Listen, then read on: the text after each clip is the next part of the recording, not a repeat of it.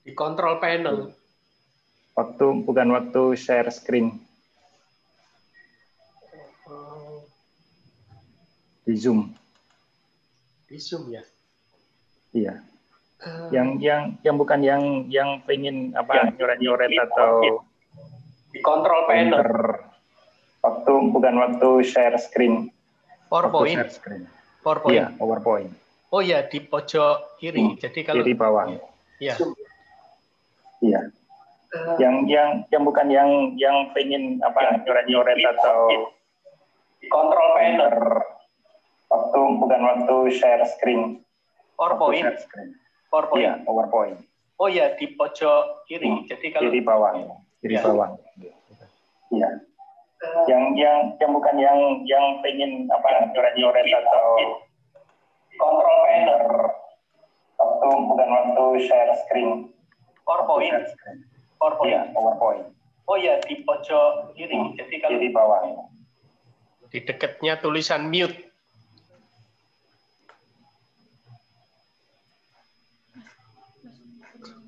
Gitu.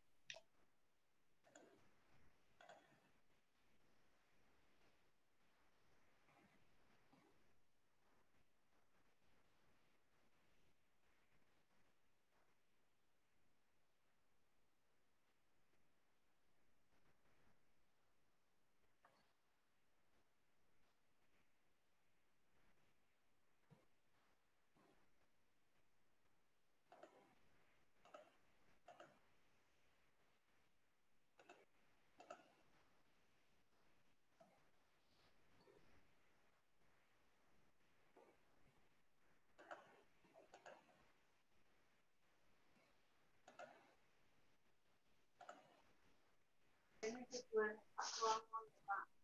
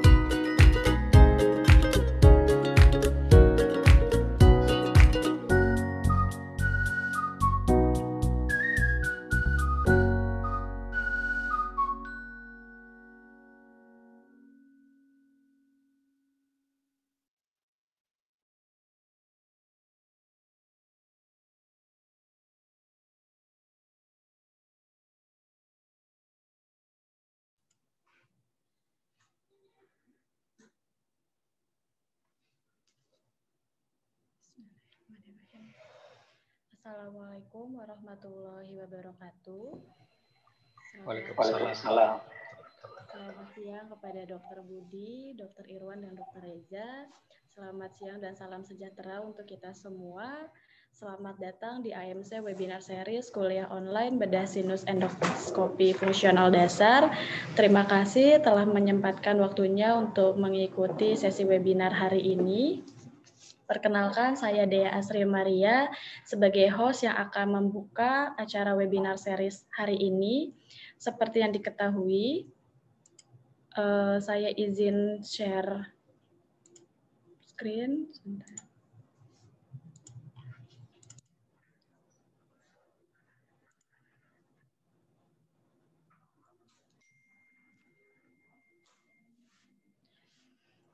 Baik, seperti yang diketahui bahwa webinar ini merupakan webinar berkelanjutan yang diadakan sebanyak enam kali dengan interval waktu dua minggu dan hari ini pada tanggal 3 Oktober 2020 merupakan webinar kita yang keempat dengan materi posterior ethmoidektomi dan sphenoidektomi.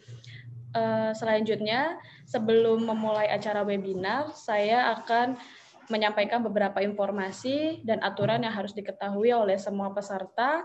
Yang pertama, audio Anda akan di-mute secara otomatis. Yang kedua, mohon tulis pertanyaan disertai nama dan asal institusi pada kolom Q&A. Yang ketiga, mohon tidak mencentang send as an anonymous pada saat mengirimkan pertanyaan pada kolom Q&A. Yang keempat, untuk pertanyaan yang berkaitan dengan teknis acara, dimohon untuk mengisi pada kolom chat. Kepada peserta dimohon tidak menuliskan kehadiran pada fitur chat.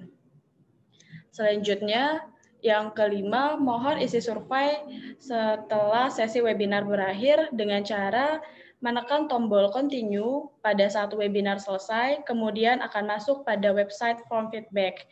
Yang keenam, untuk mendapatkan sertifikat, peserta wajib login dan mengikuti sesi webinar hingga selesai.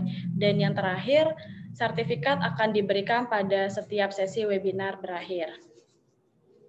Selanjutnya, saya akan mempresentasikan secara singkat produk portofolio PT Advance Medicare Corpora selaku distributor tunggal CalStores di Indonesia.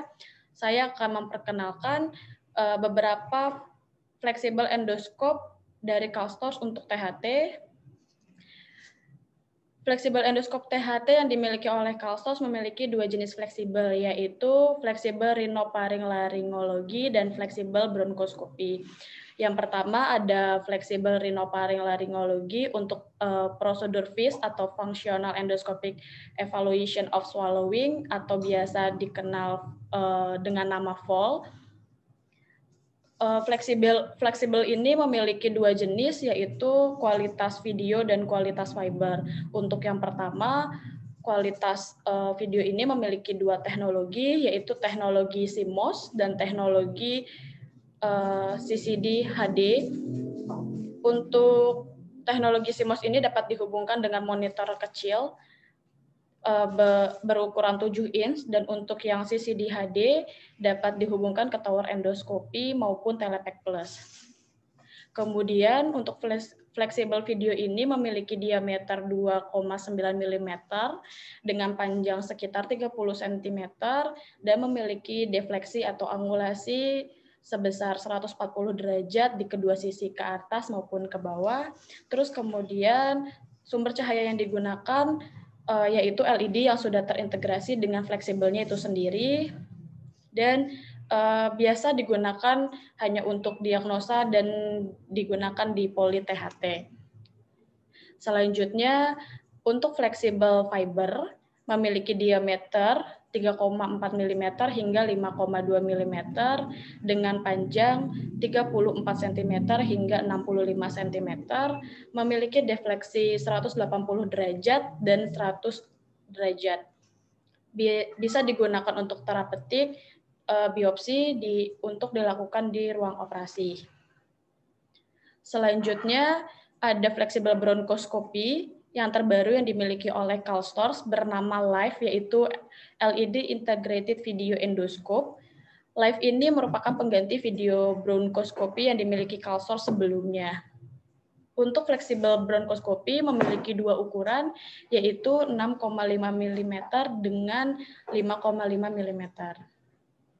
Untuk uh, video bronko, untuk fleksibel bronkoskopi dengan diameter 6,5 mm memiliki working channel 2,8 dikali 3,2 mm dengan panjang 60 cm dan memiliki angulasi 180 ke atas dan 130 derajat ke bawah dengan deep of view-nya 3 sampai 50 mm.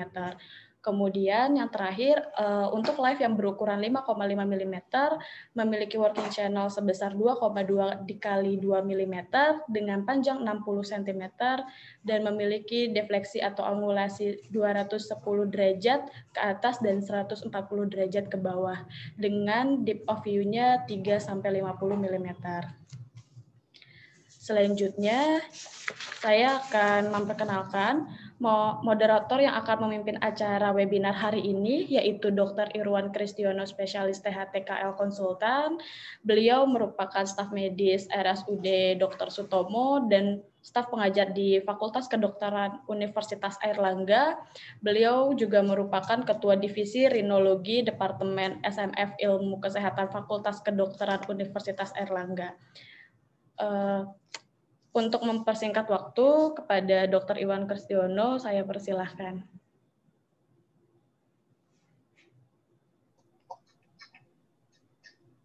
Terima kasih. Terima kasih, ya.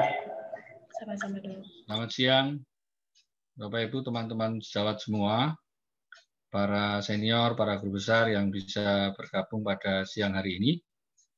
Selamat bergabung kembali di acara AMC Webinar Series kuliah online tentang bedah sinus endoskopik fungsional dasar yang pada hari ini tanggal 3 Oktober 2020 sudah memasuki seri yang keempat. Ya, saya berharap teman-teman sejawat, para senior semua dalam keadaan sehat sehingga kita bisa mengikuti uh, acara webinar siang hari ini dengan baik sebelum kita mulai, uh, ada pooling yang akan apa semacam pretest gitu ya yang akan disampaikan. Ada beberapa hmm, pertanyaan pretest untuk sesi yang keempat hari ini yang sebetulnya merupakan materi sesi yang ketiga. Kami persilakan. Coba. Pertanyaannya ada enam, tapi saya pikir cepat saja lima menit kita sudah bisa nanti kita bahas uh, jawabannya. Dipersilakan untuk para peserta yang pada siang hari ini yang bisa bergabung pada siang hari untuk menjawabnya. Kami persilakan.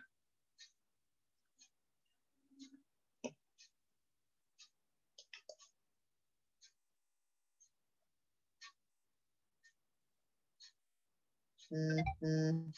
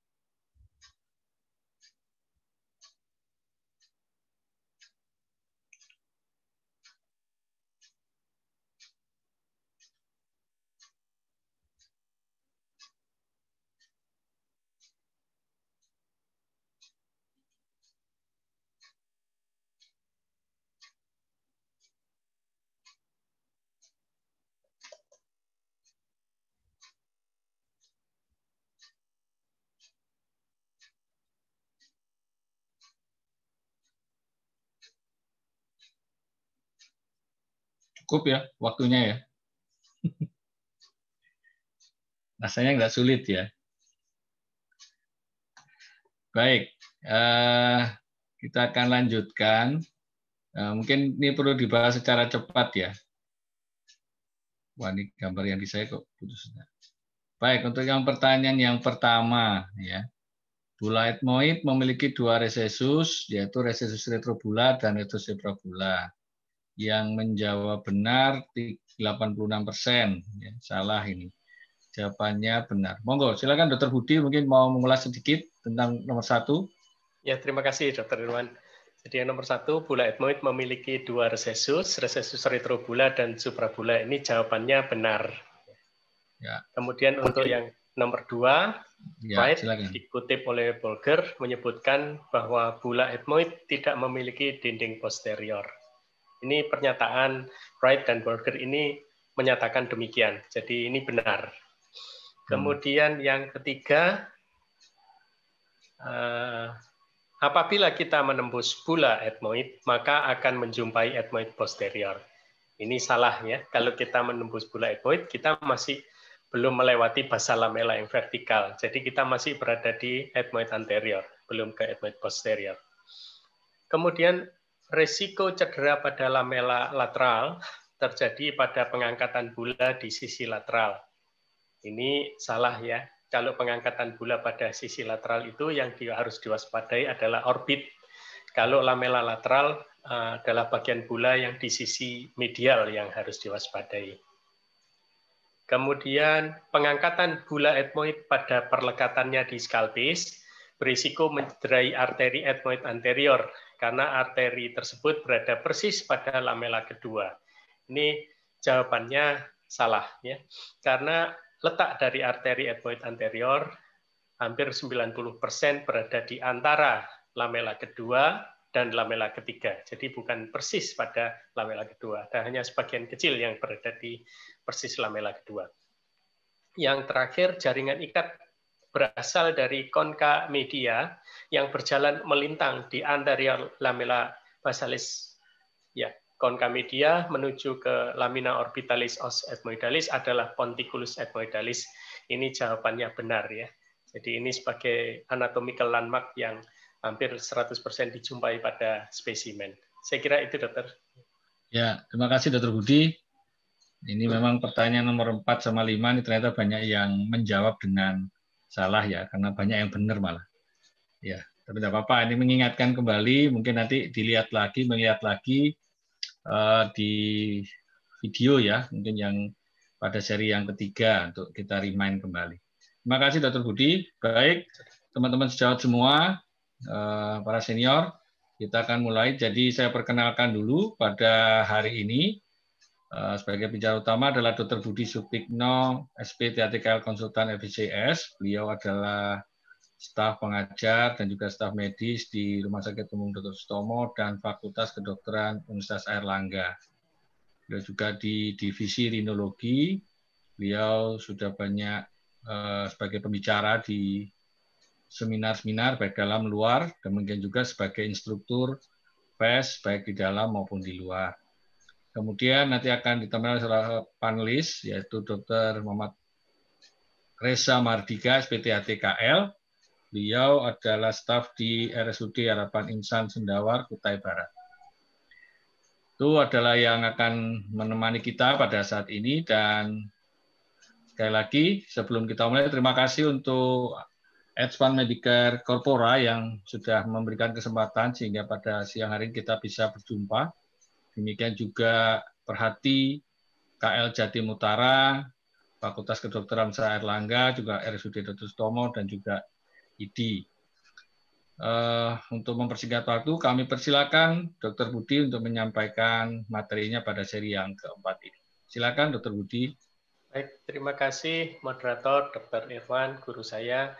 Assalamualaikum warahmatullahi wabarakatuh. Sekali lagi terima kasih juga kepada Dr. Reza, eh, tim dari AMC, serta tidak kalah pentingnya adalah para sejawat, para senior yang berkenan meluangkan waktu pada siang hari ini untuk mengikuti sesi keempat acara webinar ini. Profesor Sotri Wayasirli Amri Walu Uqatatami milisani. Eh, bismillah saya mulai dari slide ini. Jadi pada sesi yang keempat ini kita akan eh, ada dua topik. Yang pertama adalah posterior ethmoidectomy dan yang kedua nanti ada sphenoidectomy. Dan di antara keduanya nanti uh, eh, Dr. Reza akan menambahkan uh, sedikit materi. Ya. Baik, tadi pagi saya uh, mengikuti webinar ya, dan saya mendapatkan petuah yang berharga dari guru besar kita dari otologi ya, Prof. Zainul Jafar, dan saya merasa perlu itu mencantumkan di slide-slide awal saya pada siang hari ini ya. Jadi yang beliau sampaikan tadi adalah uh, tentang telinga memang, tapi nilai-nilainya sangat uh, berguna dan berlaku secara general bagi uh, tidak hanya pada TS muda tapi buat kita semua ya. Jadi yang pertama kuasai anatomi, ikuti kursus-kursus diseksi, dikatakan kalau di telinga itu TBD sampai 50 kali. Ya. Kemudian, namun tiap orang memang bisa berbeda. Yang kedua, lakukan operasi dengan sabar, meticulous surgery, tidak buru-buru, sediakan waktu khusus ya, tanpa ada kesombongan sedikit pun. Ya. Kemudian yang ketiga, post-op hindari keluhan tambahan, jadi hindari komplikasi yang terjadi. ya. Kemudian Eh, yang keempat, operasi sukses itu pasien puas, dokternya puas. Yang kelima, operasi mulailah operasi pada kasus yang sederhana, tetapi dokumentasi dengan baik. Catat pre-op-nya bagaimana, durante op-nya bagaimana, videonya didokumentasi, disediakan eksternal hard disk yang memadai ya dan di follow up. Kemudian yang keenam, kalau perlu follow up dengan menelpon pasien, bagaimana kondisinya dan sebagainya ya. Eh, dikatakan oleh beliau tadi bahwa pasien post-op yang tidak kontrol itu mungkin datang ke sejawat yang lain. Ya. Eh, nah, kedelapan, Portman tahun 72 bahwa operasi 100 kali mungkin merasa hebat, tapi makin banyak operasi akan ditemukan hal-hal yang rumit. Ya. Jadi kalau naik kelas, naik kelas, naik kelas nanti akan menghadapi hal kerumitan-kerumitan baru yang mengasah kemampuan kita. Ya. Dan yang kesembilan, belajar maksimal teorinya, ya, serta teknik operasinya. Jadi teori iya, teknik operasi iya, sebelum umur 40 atau 45 tahun. Tapi uh, tidak pernah kita berhenti belajar, insya Allah. Ya. Kemudian Goi Kuliah ini tokoh otologis juga operasi bukanlah balapan motor, ya, bukan balapan mobil. Ya. Yang ke-11, kemampuan mencapai sukses pada semua operasi perlu proses, kerja keras, dedikasi yang tinggi, dan pengorbanan. Waktu, fisik, mental, materi. Ya. Saya ulangi, waktu, fisik, mental, materi. Ya. Dan bila operasi TS tidak sukses, muhasabah dan ambil hikmahnya. Kemudian lupakan 100 operasi yang sukses yang telah dilakukan, tapi selalu ingat satu atau dua operasi yang pernah gagal. Ya, ini kuliah. Kemudian ini moto dari ontologi, saya kira juga bagus untuk kita dengarkan. Learn to learn from everything you do and everybody around you. Ya, jadi belajar dari semua, ya. Semua akan menjadi guru kita. Kemudian yang ke-15 bertanya, konsultasi, bukan tanda kurangnya ilmu, tetapi tanda kematangan kita. Ya. Dan yang ke-16, para otologis yang sukses umumnya pernah mengalami kegagalan. Para rinologis yang sukses umumnya juga pernah mengalami kegagalan. Saya kira ini general Kemudian jangan lupa berdoa sebelum kerja maupun sebelum operasi. Minta doa ke orang tua, minta doa ke keluarga dan semua ya. Sekalipun operasi itu tampaknya di depan mata ini kasus yang tidak sulit. Man purposes, God disposes ya. Ini semua Tuhan yang menentukan di, di isnilah ya. Dan yang terakhir beliau menyampaikan bersyukurlah yang banyak atas nikmat Allah dan niscaya Allah akan menambah nikmat tersebut jadi betapa empat slide ini saya capture, saya sangat terkesan, ya, dan ini petua yang baik buat kita bersama. Jadi kembali ke materi. uh, permisi, Dr. Budi. Oh, ya. Slide-nya kok saya nggak bisa ngelihat ya? Uh, dari awal belum bisa. Nggak kelihatan. Tadi saya mau nyela kok nggak enak. Coba mungkin diulangi lagi mungkin. Nanti daripada keterusan nanti. Iya dok, iya dok. Terima kasih dok. Your screen share spouse ya.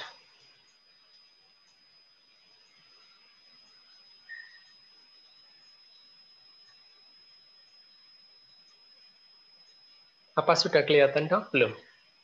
Belum ya. Dari AMC gimana? Dari teman-teman AMC? Belum, belum ya? Ternyata juga belum kelihatan ya? Belum, dok. Saya cuma melihat has started screen sharing. Apa mungkin makanya saya mungkin cek yang lain apakah ada Ini... masalah di situ? Sebentar.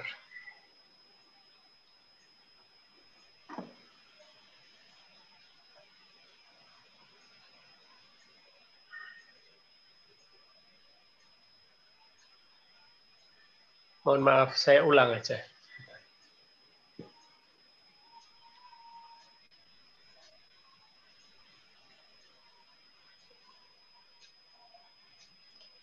Uh, di sini selalu ada tulisan your screen sharing is pause. Mungkin ada dari Iya, saya di sini cuma cuma has started screen sharing tapi kok nggak kelihatan ya. Nggak keluar gambarnya. Oke. Okay. Ini sekarang tampak, Dok? Tampak. Ini tulisan di atas itu kah? Oh, kembali tampak lagi. Kecil. Rupanya kembali lagi ya.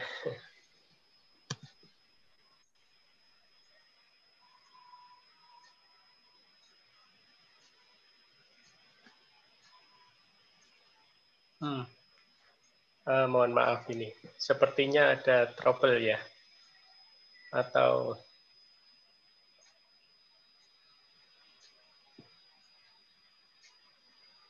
coba saya mungkin saya coba leave, kemudian saya awali ya. lagi. Ya coba di anu lagi mungkin ya. Mohon maaf teman-teman sejawat dan teman-teman ya. yang yang uh, para senior harap sabar sebentar. Ini ada gangguan teknis sebentar.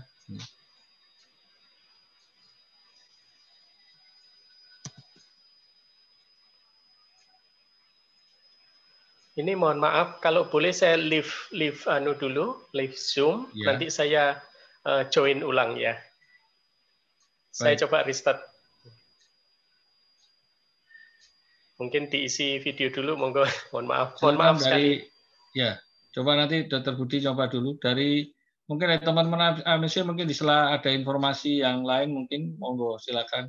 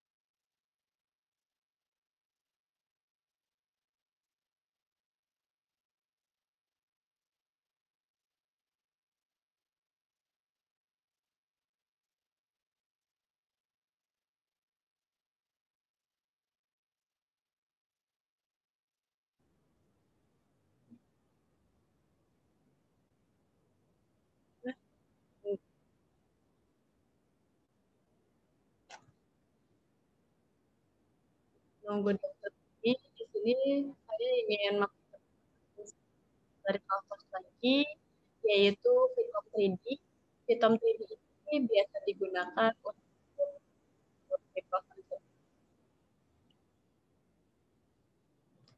Jadi Fitom 3D ini uh, merupakan bukan endoskop. Jadi ini semi endoskop yang dimiliki oleh Kalsos untuk proses ya. Endoskop ini biasa digunakan untuk beberapa prosedur di otologi, yaitu untuk prosedur mastektomi,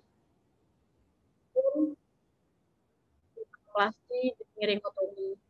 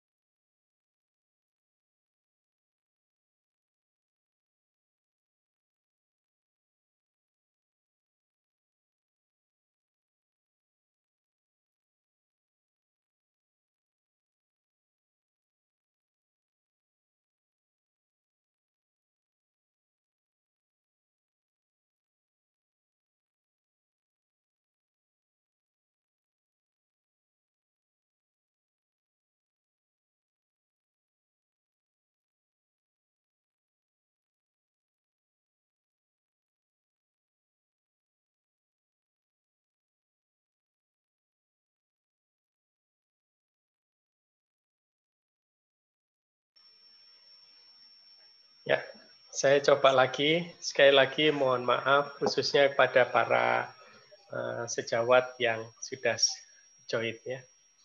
Ya, silakan Dr. Budi. Dicoba sekali lagi. Iya.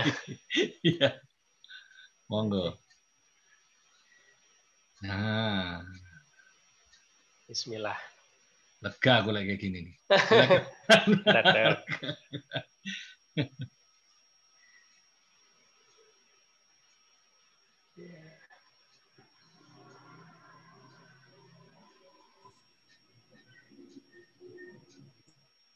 Ah, baik.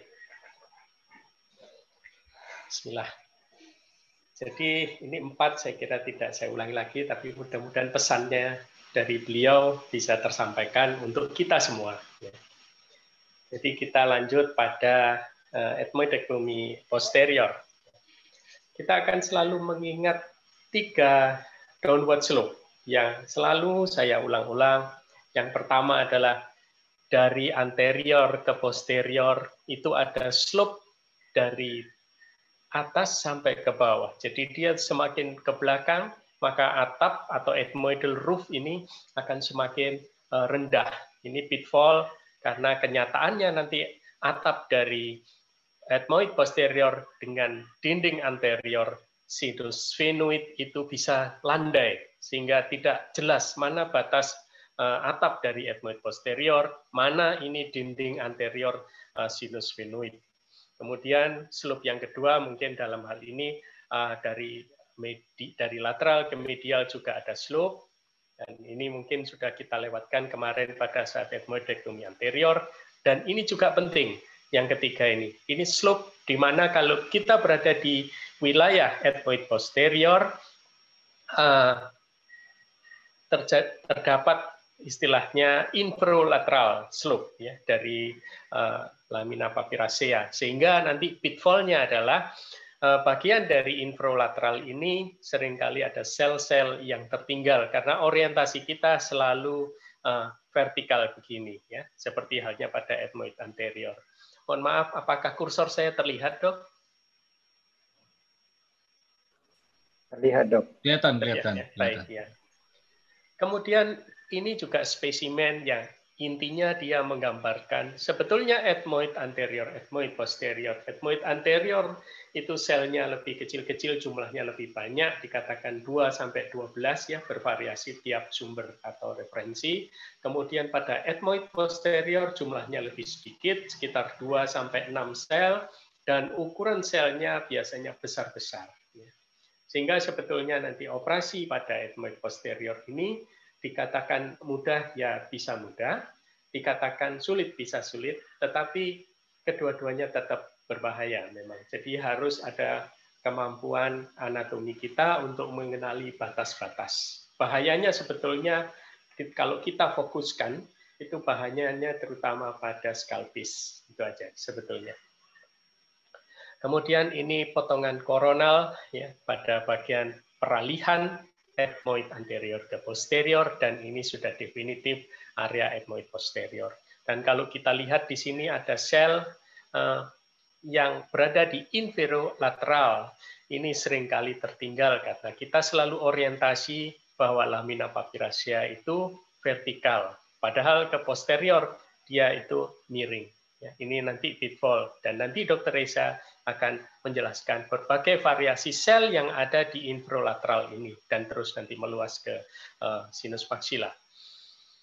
Ini dalam kaitan uh, ethmoidektomi posterior kita mungkin masih ingat saya pernah menyinggung ethmo maxillary sinus ya.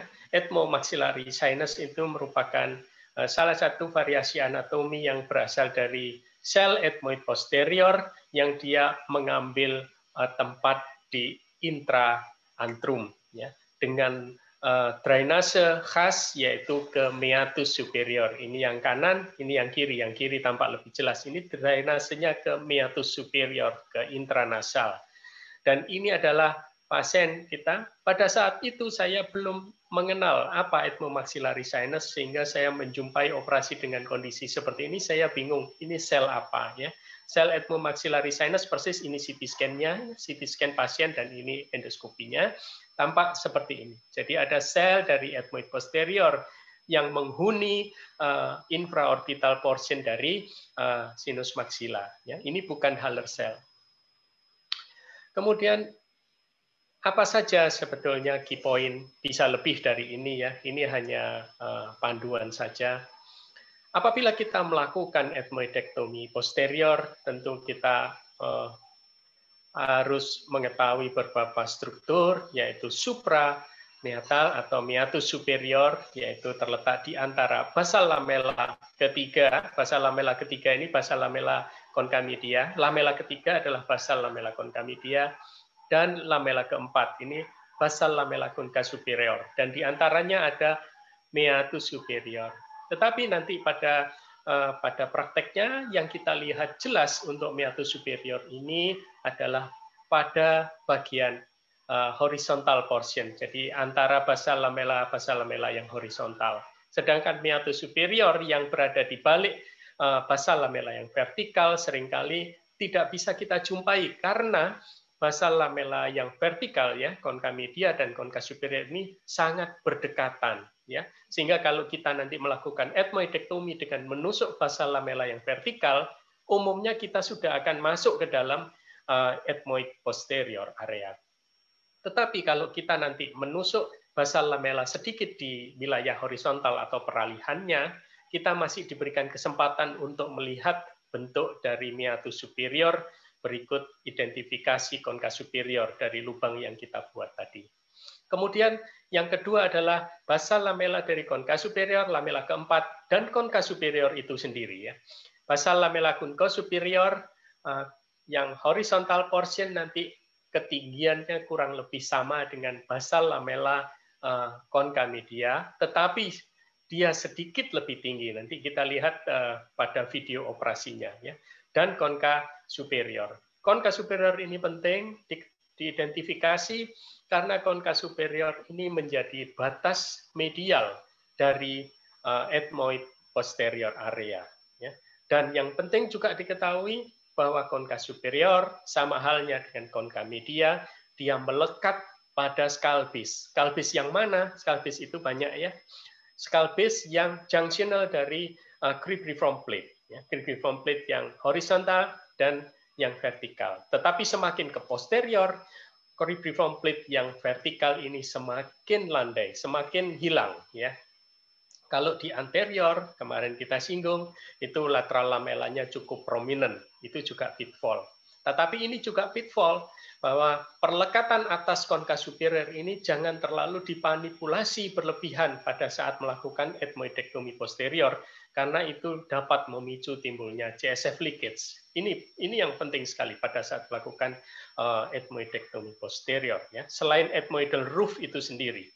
Kemudian lamina papiracea ini merupakan batas uh, lateral dari Eh, posterior ethmoid ya dan di mana tadi pada inferolateral ada kemiringan di mana tadi ada potensi timbulnya retain cell, sel-sel yang tertinggal yang tidak ikut terangkat. Nah, sel-sel yang tertinggal ini ada kalanya bisa mengalami masalah ya, bisa menimbulkan keluhan nyeri wajah atau nyeri kepala pada pasien pasca operasi. Kemudian skalpis, skalpis yang mana? Skalpisnya kalau boleh saya sebut aja dua di sini. Yang pertama adalah ethmoidal roof, ya, yang merupakan fovea ethmoidalis os frontal, yang tadi saya bilang eh, batas antara ethmoidal roof dengan eh, dinding anterior sinus sphenoid bisa jadi sangat landai dan tidak bisa dibedakan mana ini dinding anterior sphenoid, mana ini atap dari ethmoid posterior.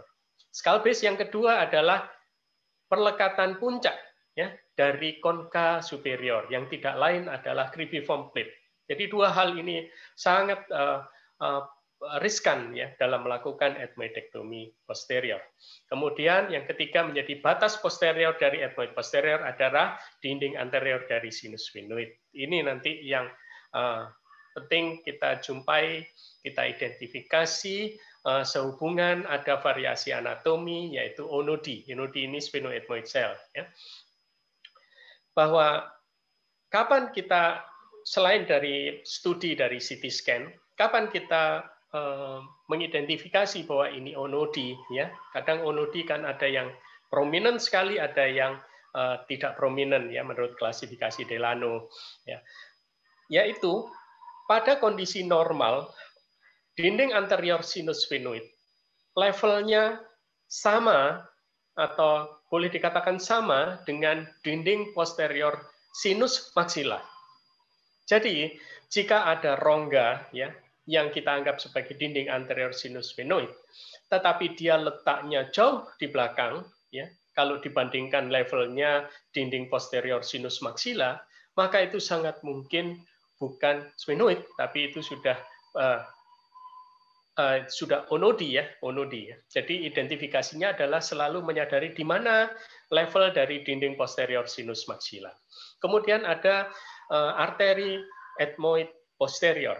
Ini letaknya satu senti di belakang dari ethmoid anterior dan satu atau dua mili anterior dari dinding anterior sinus sphenoid atau sangat dekat dengan dinding anterior sinus sphenoid.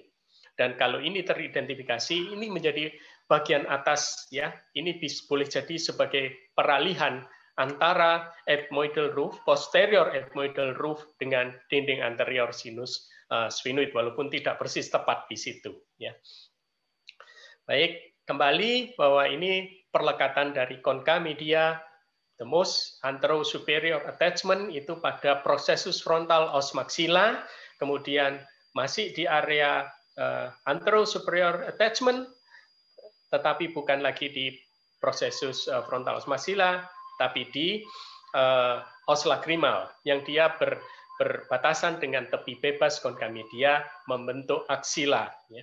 Kemudian di bagian atas eh, selain di prosesus frontal os maxilla, maka konkamedia ini melekat pada junctional dari cribriform plate ya antara horizontal dan lateral lamella. Dan yang pada bagian belakang dia akan melekat pada eh, basal lamela yang ketiga ya, lamela yang ketiga. Dan penting kemarin sudah saya sampaikan bahwa kolempeng konkamedia itu hanya ada di anterior dari basal lamela yang vertikal dan hanya ada di inferior dari basal lamela yang horizontal.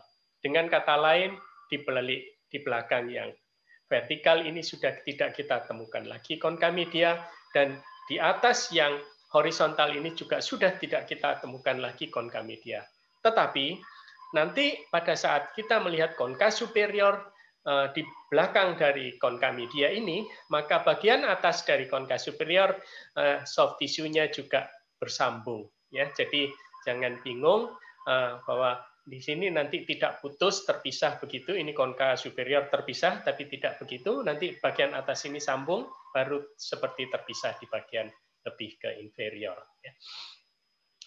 pitfallnya dengan melihat sebetulnya dengan melihat uh, key point landmark ini kita juga sudah bisa mereka-reka ya uh, secara logik bahwa pitfallnya bisa mencederai orbit bisa mencederai skull base dua ini bisa eh, sel-sel yang tertinggal terutama di inferolateral dan jika ada stripping mukosa nanti saya tunjukkan juga bahwa ada video yang saya lakukan yang eh, melakukan banyak stripping mukosa dan itu bukan contoh yang baik ya. Dan itu bisa memicu timbulnya eh, ethmoid cavity block karena diisi oleh jaringan fibrus.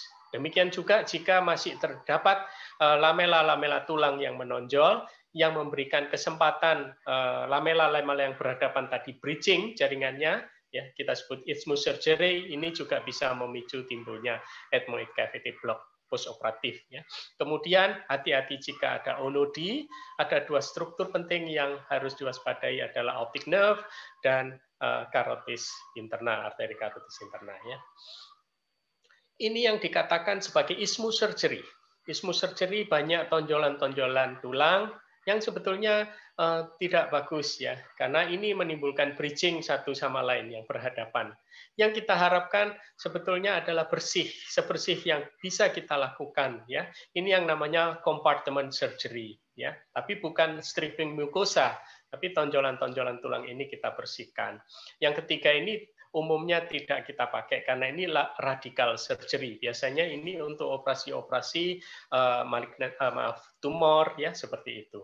Tetapi nanti kalau kita melakukan revisi surgery ya, beberapa kali kita melakukan revisi surgery dan terdokumentasi, uh, umumnya sudah terjadi osteotic bone di mana-mana, di mana osteotic bone itu uh, dari buku mana pun sebaiknya diangkat sebisanya. Sehingga seolah-olah kita melakukan radical surgery pada saat kita melakukan revision surgery. Ya.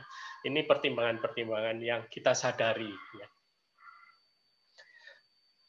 Berikutnya adalah kita masuk ke teknik eh, ethmoidectomy posterior. Jadi setelah kita mengangkat bola, kita mendapatkan eh, basal lamela eh, vertikal dari konka media, ya. Jadi ini konka media berarti ini sisi kanan.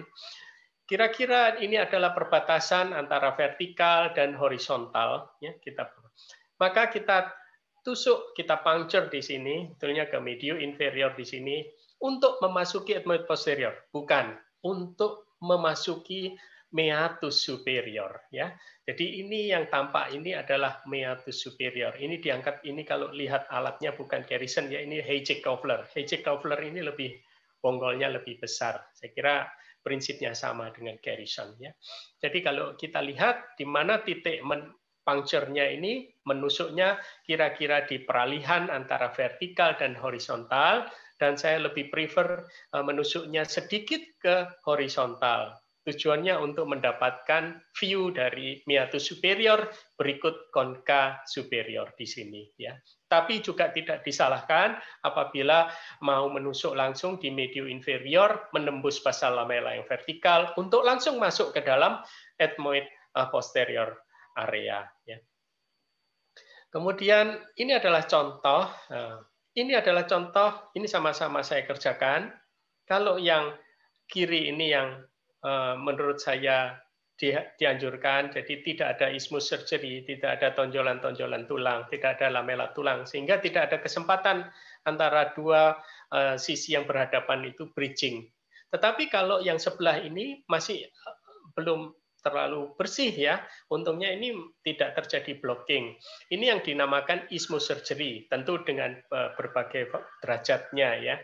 Nah, ini termasuk bridging dari sini dari lateral ke medial ini bridging. Dan ini kalau masif bridgingnya eh, atau terjadi fibrosis proses yang masif, maka bukan tidak mungkin ethmoid cavity ini mengalami blocking. Ya, jadi ini contoh sebetulnya uh, lebih bagus ya. Nah, kembali saya ulang, Prof. Renu Cabrado menyampaikan dead men tell no tales, but in our case they do. Jadi memang kadaver itu tidak bisa berbicara lagi, tidak bisa berkata-kata lagi. Tetapi kalau kita betul-betul mempelajari kadaver, ya, maka di situ banyak anatomi yang berbicara. Karena itu pesan dari trio Jerman kemarin, Prof. Usman, Weber, dan Kunel menyampaikan, kalau Eh, kita melakukan mengikuti diseksi kadaver, kita manfaatkan waktu tersebut sebaik mungkin untuk mempelajari anatomikalnya. Tidak semata-mata kita mempelajari teknik operasinya, ya. Karena menguasai anatominya itu akan jauh lebih bermanfaat pada saat kita dihadapkan oleh anatomi-anatomi yang sulit dan anatomi yang bervariasi. Ya. Jadi ini basal lamela dari konkamedia, ini bula etmoid yang pointer ini menunjukkan atau probing ini menunjukkan ke recessus retrobula, maka ini adalah daerah etmoid uh, posterior. Ya. Ada sambungan di sini yang menghubungkan konka media dan nanti dengan konka superior. Ya. Jadi tidak terpisah begitu. Kemudian ini bula sudah diangkat, kita melihat konka eh, medi, konka superior juga diangkat, kita melihat bahwa rongga-rongga etmoid posterior itu berupa sel-sel yang besar ukurannya. Ya, demikian seterusnya eh, kita melihat eh, bagaimana rangkaian etmoid posterior hitam. Ini dari bukunya Prof. Seti ya, dari Silver Book-nya Stores ya. Sama kita melihat basal lamella concamedia, ya, bula etmoid tersesus retrobula, kemudian daerah etmoid posterior area ya. Kita buka dan kita bisa identifikasi uh, etmoid posterior. Ini adalah contoh operasi, jadi nanti ada beberapa video klip, semoga bisa membantu. Nah, kita tusuk bula dari medio inferior karena aman. Saya mengangkat bula dari dinding lateral, ya, terserah umumnya dari dinding lateral dulu dengan cutting forceps yang menghadap atas, kemudian mengangkat yang bagian bawah pula dengan cutting lurus, ya, kemudian mengangkat bagian medial pula dengan cutting lurus, serta mengangkat bagian lateral pula karena dia menonjolnya secara 90 derajat tegak, ya, maka kita menggunakan instrumen yang 90 derajat pula, yaitu di sini kita menggunakan Garrison. Ya, ini akan lebih memudahkan kita daripada menggunakan cutting forceps yang 45 derajat. Ya. Kemudian saya mendapati basal lamela yang vertikal dari konkamedia dan saya ini sedikit merapikan darah atas, rupanya sudah menjebol sedikit darah atas dan kita bisa menampakkan ethmoid posterior secara kebetulan ya. Tapi sebetulnya yang mau kita tusuk adalah di medio inferior ya. Ini mengangkat basal lamela konka media yang vertikal dan saya mendapati di daerah sini adalah meatus superior. Ini meatus superior ya. Dan sebagian eh, sel-sel etmoid posterior sudah terekspos juga di sini ya. Nah, kalau kita menjumpai operasi seperti ini medannya, maka etmoidektomi posterior bisa menjadi mudah karena uh, mukosanya tidak udim, kita bisa mengidentifikasi itu ada skalbis, fovea ethmoidalis osfrontalis ya, warnanya pucat, tebal, kesannya tidak translucent ya. Nah, karena mukosanya tidak udim, tidak ada uh, polip ya, uh, tidak ada perdarahan yang masif di situ, maka ethmoidectomy posterior dalam kondisi seperti ini relatif mudah. Tetapi kita harus tetap mengingat bahwa batas atas adalah skalpis, mana skalpis kita harus identifikasi, mana lamina papiracea kita harus identifikasi, dan penting sekali mana konka superior kita harus identifikasi dan di mana dia perlekatannya di superior karena ini rawan sekali timbul CSF leakage ya. Ini adalah bagian yang rawan dari perlekatan atas ini konka superior ya. Nah, ini masih ada sel karena ini letaknya tentu di anterior dari dinding posterior sinus maksila. Jadi kalau berada di masih anterior dari dinding sinus uh, maksila, dinding posterior, maka dia belum mencapai dinding anterior sinus sphenoid. Ya. Lebih-lebih lagi kalau kita melihat ada dua petunjuk. Dua petunjuk itu di atas ada skalbis sudah teridentifikasi, di bawahnya ada rongga etmoid posterior. Nah seperti ini ya, ada rongga begini, maka daerah di antaranya ini insya Allah daerah yang aman sehingga bisa kita angkat. Namun demikian, pengangkatan pada batasnya pada skalpis ini harus tetap hati-hati ya. Pengangkatannya pada batas dengan perlekatan konka superior juga harus hati-hati karena tiba-tiba bisa muncul CSF likit nanti di daerah sini ya. Nah, ini tetap sudah harus hati-hati walaupun uh, uh, relatif aman tapi pada bagian perlekatannya ini sudah uh, harus hati-hati. Nah, kita lihat ada rongga di belakang sana. Kira-kira kalau itu betul di belakang dari lebih posterior dari dinding uh, posterior sinus maxilla ini bukan tidak mungkin itu adalah uh, onodi. Jadi tetap tapi harus studi dari CT scan-nya ya. Jadi sekali lagi base ya, mungkin onodi ya. Nah, mungkin ya. Kemudian ini daerah lamina papiracea ya. Saya stop nanti video ini kita lanjutkan di belakang. Uh, ini ada beberapa alat yang dibutuhkan kalau kita melakukan uh, posterior. Umumnya alat yang digunakan adalah teleskop 0 derajat, gelangnya hijau. ya. Tetapi nanti pada saat, jadi gini, kita melakukan ethmoidectomy posterior dari sisi bawah-bawah dulu, nyampe di belakang nanti kita retrograde untuk membersihkan daerah atas. ya. Jadi eh, kita mencari landmark dulu. Kemudian pada saat mencari landmark di atas, membersihkan sisi atas, kita mulai beralih ke angle scope biasanya yang digunakan adalah 30 derajat. 45 bisa, tetapi 30 mungkin lebih nyaman. Dan tentunya pada saat kita evaluasi membersihkan daerah atas, maka skalpis, maka teleskop 30 ini dibarengi dengan suction yang tidak lagi suction yang lurus, tapi menggunakan von Aiken yang short curve, yang suction lengkung yang pendek, ya seperti itu. Nah, saya kira ini ini suction yang sering kita pakai kalau kita akan membersihkan daerah skalpis ya. Nah, ini sekali lagi mohon jangan bosan ya. Saya ini tips ringan ya, tapi berguna dari yang saya alami.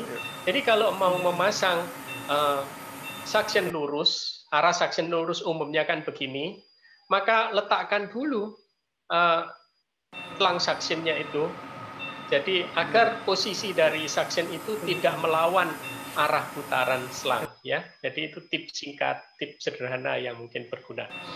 Baik, ini saya kira sudah sangat familiar ya dengan cutting lurus, cutting atas, basically lurus, back atas ya. Dan ini ada Stamberger circular cutting punch ya, yang atau nama lainnya mushroom, ada yang lurus, ada yang atas, yang hadap atas sekitar 65 eh, derajat itu untuk frontal recess ya. Ini untuk uh, umumnya untuk ethmoid sangat membantu. Kebetulan uh, di tempat kami ada kerusakan alat ini sehingga tidak bisa saya demokan pada video beberapa video. Ini Carison ya. Baik, uh, saya kira sebelum saya masuk ke sphenoidectomy, saya stop share dulu karena mungkin Dr. Reza ingin menambahkan materi. Terima kasih, nanti saya lanjutkan. Terima kasih Dr. Irwan. Ya, terima kasih Dokter Budi. Menarik sekali ya. Singkat, tapi sebetulnya itu perlu berhati-hati karena memasuki daerah ethmoid posterior itu. Tadi Dokter Budi di awal tadi kalau teman-teman sudah perhatikan bahwa memang banyak hal-hal yang harus diperhatikan. Karena terkadang apalagi kalau tadi kan kelihatannya lebih mudah karena memang tidak tidak ada proses inflamasi yang sampai ke posterior ya. Kalau ada poli pada ini, waduh itu lebih ruwet. Itu. Baik, untuk melengkapi silakan Dokter Reza untuk menyampaikan eh, apa ya variasi-variasi yang bisa ditemukan di eh, apa posterior. Monggo, silakan Dokter Reza.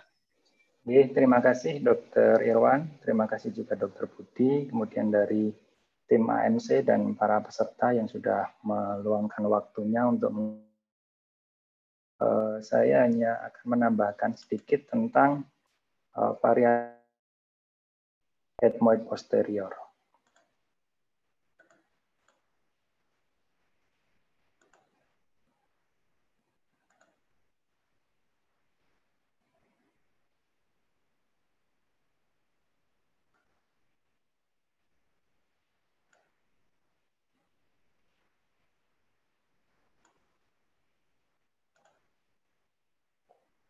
Apakah tampak screen saya, dokter?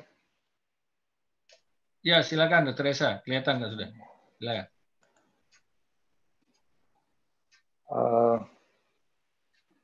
hanya sedikit menambahkan tentang variasi, yaitu etmoid merupakan tulang yang cenderung untuk uh, melakukan pneumatisasi ke arah struktur tulang sekitar. Seperti yang dokter Budi bilang tadi, mengutip dari Renuka Brado juga, ini beliau menyebut ethmoid sebagai wandering bone atau tulang yang sifatnya berkelana ke eh, struktur sekitar kemudian berpneumatisasi di situ. Ada dua pneumatisasi secara garis besar yaitu intramural dan ekstramural. Pneumatisasi di dalam ethmoid labirin, sedangkan ekstramural itu ke arah eh, keluar dari yang kalau ke depan ke berhubungan dengan frontal sinus ada grup anterior dan grup posterior. Kalau grup anterior ke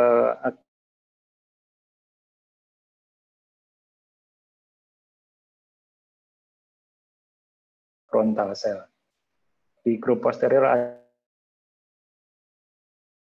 cell dan supraorbital ethmoid cell. Kemudian eh, pneumatisasi ke arah jadi dua, ke bagian dari ethmoid anterior yaitu menjadi sel halar, kemudian bagian posterior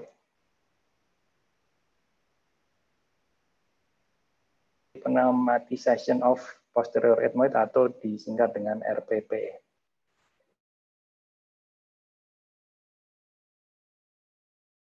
Eh, pneumatisasi ke arah infralateral dari sphenoid inferolateral sphenoethmoid atau ISEC. Nanti uh, saya hanya menambahkan sedikit yang berhubungan dengan ethmoid posterior. Uh, seperti yang Dokter Budi tadi sampaikan bahwa ada slope inferolateral pada gambaran koronal. Uh, Liu Jinfeng membagi menjadi empat tipe. Tipe pertama yaitu mohon maaf kursor, kursor saya kelihatan dok kelihatan dok oh. Kelihatan. Tipe pertama hmm. itu bagian postero. Ini kita membahas tentang bagian postero superior dari sinus maksila. Bagian postero superior dari sinus maksila pada tipe pertama yaitu eh, hanya berhubungan dengan orbita atau berhubungan dengan meatus medius. Ini. Kemudian pada tipe yang kedua itu Bagian posterior superior dari sinus maksila berhubungan dengan orbita tentu saja di bagian atas dan di bagian supromedial ada uh, meatus superior. Kemudian tipe 3 uh, eh, didapatkan orbita meatus ethmoid posterior. Tapi pada tipe 3A ini Bila ditarik garis vertikal melalui perlekatan konka inferior dengan uh, dinding sinus dinding medial dari sinus maksila, maka dia masih satu garis. Pada tipe 3, 3B itu sama dengan tipe 3A, uh, bagian posterior superior dari sinus maksila uh, berhubungan dengan orbit, ethmoid posterior, dan Eh, meatus superior, tetapi dinding medial dari sinus maksila menjorok ke arah medial. Pada tipe 3C eh, sama dengan tipe 3A, tetapi sinus ethmoid posterior berkembang menjadi ethmomaxillary sinus. Pada tipe 4, sinus maksila pneumatisasi ke arah belakang lagi sehingga berhubungan dengan sinus ethmoid. Di sini didapatkan uh, partisi antara sinus ethmoid dengan sinus maksila didapatkan eh, SMP atau maxillary plate. Sedangkan pada tipe 3, 3A, 3B, dan 3C, partisi antara sinus maksila dengan uh, posterior ethmoid disebut sebagai EMP atau ethmomaxillary plate. Jadi ada ethmomaxillary plate dan ada sphenomaxillary plate. Sekarang saya akan sedikit menambahkan tentang pneumatisasi etmoid posterior ke arah lateral. Pneumatisasi ke arah lateral ini terjadi jika etmoid posterior berpneumatisasi ke infraorbital dan ke arah sinus maksila.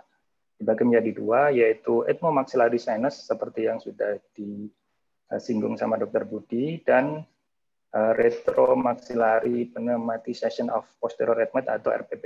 Ada beberapa perbedaan yaitu yang pertama hubungannya dengan sinus maksila kalau EMS berada di dalam sinus maksila, posisinya berada di belakang basa lamela kalau ditarik garis vertikal, sedangkan RPPE berada di luar sinus maksila dan di belakang dari uh, dinding posterior sinus maksila. Untuk EMS, eh, gambaran drainasenya cukup jelas pada gambaran CT scan ke arah meatus superior, sedangkan untuk RPPE tidak terlalu jelas pada CT scan. Kemudian partisi dengan orbit eh, tulangnya cukup tebal karena merupakan tulang maksila, sedangkan pada RPPE cukup tipis karena merupakan tulang ethmoid. Dan EMP-nya untuk EMS itu tipis karena tulang ethmoid, sedangkan untuk RPPE cukup tebal EMP-nya karena merupakan bagian dari tulang maksila. Terus untuk EMS itu pneumatisasinya bisa mencapai ke infer, dinding inferior dari sinus maksimal sehingga cukup lebar. Bisa disebut sebagai sehingga beberapa peneliti menyebutnya sebagai maksilari bula karena cukup besar. Sedangkan pada RPPE biasanya pneumatisasinya terbatas dan cukup kecil. Ada beberapa nama yang lain.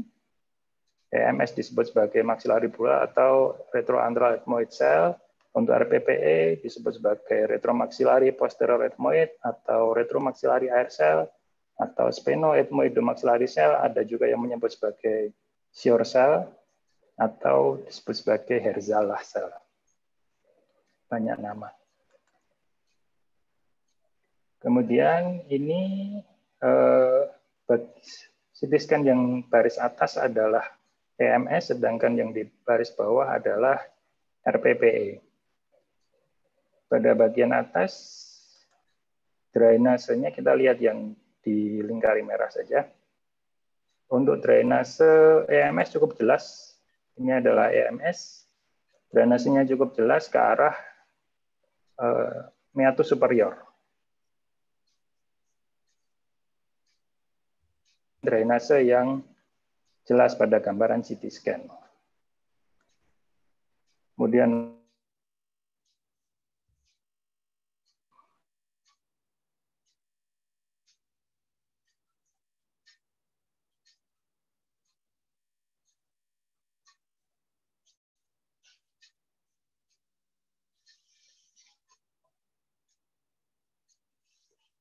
belakang dari dinding sinus maksila. Kemudian untuk eh, ketebalan dari etmomaxillary plate-nya, untuk EMS eh, pada tanda panah ini, kemudian yang untuk RPPE cukup tebal, karena merupakan dinding posterior. Untuk ukuran EMS bisa bervariasi, bisa sangat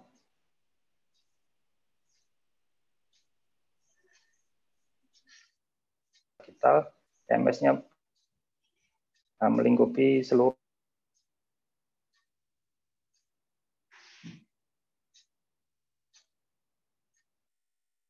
dan cukup kecil.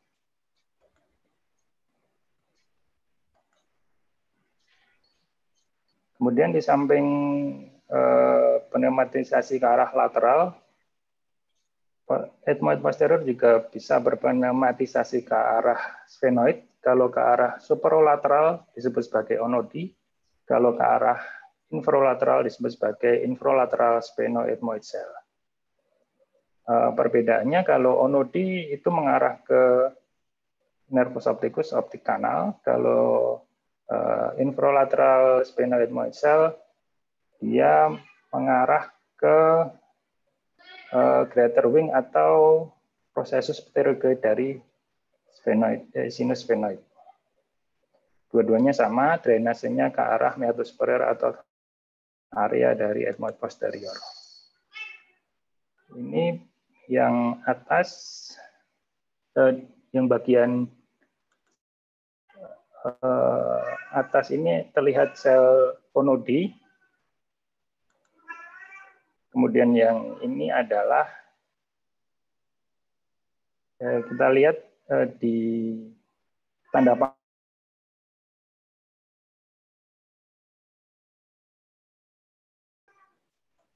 perbedaan antara Isaac dengan uh, recessus lateral dari sinus venoid adalah kalau Isaac merupakan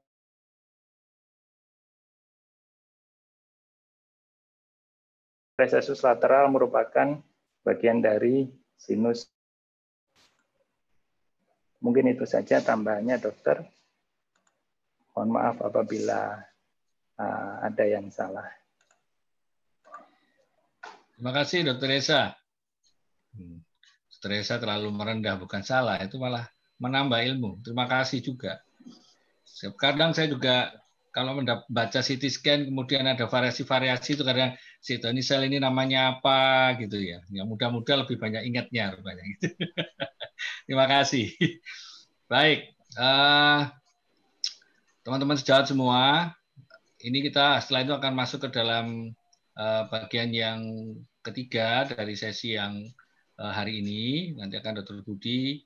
Setelah kita tadi bagian pertama dan yang kedua tadi tentang ethmoid posterior, makanya bagian yang ketiga dari sesi yang hari ini adalah tentang sphenoid. Nah, mungkin saya mengingatkan teman-teman sejawat semua, para senior, kalau ada pertanyaan, silakan menulis di uh, page Q&A, uh, bisa dimulai dari sekarang, menulis, supaya tidak lupa sehingga nanti kami bisa membacakan nanti dalam diskusi. Baik, silakan Dr. Budi untuk melanjutkan ke bagian yang ketiga dari sesi hari ini. Silakan Dr. Budi. Terima kasih Dr. Irwan, terima kasih Dr. Reza tambahannya yang begitu uh, bernilai ya, bagus banget. Dan kita harus belajar lagi, belajar lagi ya. Isaac, Siur, ya ternyata ada nama-nama baru untuk uh, penematisasi ethmoid posterior. Baik, ini kita lanjutkan ke sphenodektomi, juga mungkin tidak banyak, mana ada beberapa video, nanti mudah-mudahan bisa bermanfaat. Jadi, sepintas saja bahwa ethmoid uh, sphenoid bone itu seperti kumbang, demikian ya. Ada badannya, ada sayap yang kecil, ada sayap yang besar, ya. Kemudian ada kakinya sepasang, ya, medial dan lateral. Dan dasarnya ini menjadi atap dari nasofaring dan bagian anterior ini menjadi atap koane yang nanti pada CT scan merupakan landmark peralihan dari ethmoid posterior menuju ke sphenoid. Pada antara uh, sayap yang kecil dan sayap yang besar ini ala minor, ala mayor ada visura orbitalis superior yang akan dilewati oleh beberapa struktur, misalnya nervus opticus, ya, uh, ophthalmic nerve, ya, dan sebagainya. Dan di bagian atas ini adalah planum mastoid, eh planum sphenoid, ya, planum sphenoidale. Kalau kita lihat dari arah orbit. Sebetulnya orbit ini juga disusun oleh banyak tulang ya. Ada tulang maksila tulang frontal dan ternyata tulang sphenoid juga ya. Kemudian ada tulang sikuma juga. Jadi dan ethmoid tentunya. Baik eh, kita mengenal istilah sphenoidotomi sphenoidektomi mudah-mudahan tidak bingung ya. Eh, kalau sphenoidotomi itu biasanya di ditujukan pada transal sphenoidotomi. Jadi kita membuka eh, sinus sphenoid itu dari osteum alamiahnya yang berada dan aksesnya di antara septum dan konka ya, konka media, konka superior dan kita terus mengarah ke posterior. Kalau sphenoidektomi biasanya kita asumsikan sebagai atau kita tujukan pada transetmoid sphenoidektomi. Artinya kita harus melalui ethmoidektomi terlebih dahulu, khususnya ethmoidektomi posterior, baru kita menembus dinding anterior sinus sphenoid. Ya.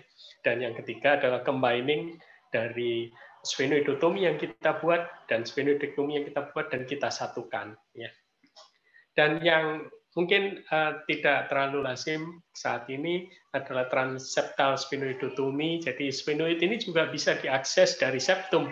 Dari membongkar fomer terus ke belakang itu pasti akan ketemu septum ya. Tetapi uh, prosedur yang keempat ini boleh dikatakan tidak pernah saya lakukan. Nah, kalau kita melakukan uh, sphenoidektomi, sphenoidotomi ya, yang pertama sphenoidotomi, maka kalau kita melakukan sphenoidotomi atau transnasal sphenoidotomi, maka identifikasinya adalah osteum alamiah dari sinus sphenoid. Osteum alamiah sinus sphenoid itu uh, bisa kita uh, lihat dengan beberapa guidance di sini. Yang pertama adalah atap kuane ya. Jadi letak dari osteum naturale atau osteum alamiah sinus spinoid itu umumnya berada di antara eh, di atas atap kuane sejauh satu hingga satu setengah senti. Ya. Kemudian yang kedua adalah konka eh, superior. Jadi osteum alamiah sinus spinoid itu biasanya berada di sepertiga bawah dari ketinggian konka superior. Dan terhadap median aspek, jadi bukan pada homernya ya, betul-betul pada median aspek dari septum, maka letak dari osteum alamiah sinus spinoid ini dihitung sekitar 4 mili dari median septum. Jadi ini adalah eh, landmark landmark yang bisa ya, kita gunakan untuk menemukan osteum alamiah dari sinus spinoid. Nah, kadang-kadang sinus eh, osteum alamiah tersebut berada di balik konka superior ya. Nanti ada contoh videonya. Kemudian yang kedua adalah uh, transetmoid sphenoidectomy nah transetmoid sphenoidectomy itu kita bisa menggunakan bantuan uh, imaginary box ya. Kotak imajiner yang uh, disebut sebagai Bolger box ya. Yang batas-batasnya adalah batas lateral mudah kita ingat ya batas ini. Batas lateral adalah lamina papiraceae, orbit. Kemudian batas medial adalah konka superior atau konka suprema jika ada. Kemudian batas superior ini adalah skalpis, khususnya kalau bisa mengidentifikasi arteri posterior etmoid atau arteri etmoid posterior, maka ini dijadikan batas atas dari box tersebut. Kemudian batas bawahnya adalah basal lamela dari konka superior. Bisa basal lamela dengan dari konkamedia juga bisa ya karena uh, perbedaan ketinggiannya tidak terlalu kentara ya. Satu lagi yang penting sekali pada saat melakukan trans uh, ethmoid sphenoidectomy adalah ketinggian dari sinus maksila atau maxillary roof. Sinus maksila, ketinggian sinus maksila ini bisa kita tarik garis lurus ke belakang dan itu menjadikan batas ya. Batas kalau kita berada di bawah garis, itu dikatakan aman. Kalau kita berada di atas garis, itu belum tentu aman. Bisa aman, tapi belum tentu aman. Jadi nanti uh, maxillary roof, kalau ditarik ke uh, belakang atau ke samping, kita sebut sebagai maxillary ridge. Ini juga imaginary ya. Itu akan menjadi landmark. ya. Baik, uh, di mana kalau kita sudah membuat Polger box, itu di, di posisi medio inferior ini yang kita tusuk ya. Tentu biasanya saya selain berimajinari dengan box ini juga saya selalu melihat ketinggian atap maksila selalu ya selalu saya identifikasi ketinggian atap maksila agar saya tidak sampai menembus uh, posterior ethmoidal roof ya atau uh, atap dari uh, sinus ethmoid. Pitfallnya juga Eh, sebetulnya bisa di eh, tidak perlu dihafal. Yang pertama kalau kita melebarkan ke arah eh, bawah, jadi setelah ketemu osteum naturale dari sinus spinoid, itu di bawah akan melintang. Jadi antara osteum dengan atap koana itu melentang cabang dari spinopalatina, arteri yang menuju septum, yang kita sebut sebagai posteroseptal arteri. Ini bisa Eh, terkena pada saat kita melebarkan osteum eh, alamiah tadi ke arah bawah ya. Fatal tidak ya, tapi sebaiknya di counter karena kalau tidak di counter dikhawatirkan terjadi post operative bleeding ya. Jadi kalau di ruangan ada bleeding di daerah situ kan ya repot ya karena itu arterial dia mengucur. Kemudian eh, hati-hati jejas pada junctional dari cubiform plate. Tetap walaupun kita menembus sphenoid, ingat yang di bagian medio superior tadi itu berdekatan dengan perlekatan konka eh, superior. Yang tidak lain adalah cribriform plate area. Ini berbahaya sekali ya. Jadi harus selalu diingat ini. Kemudian yang ketiga ini juga berbahaya, jangan sampai kita menembus eh, posterior ethmoidal roof. Jadi dua hal ini sebetulnya yang paling mengerikan kalau kita melakukan ethmoidectomy posterior ya. Kemudian kalau sampai injury pada optic nerve dan ICA insya Allah tidak ya, tapi kalau keberadaan ONOD ini harus diwaspadai.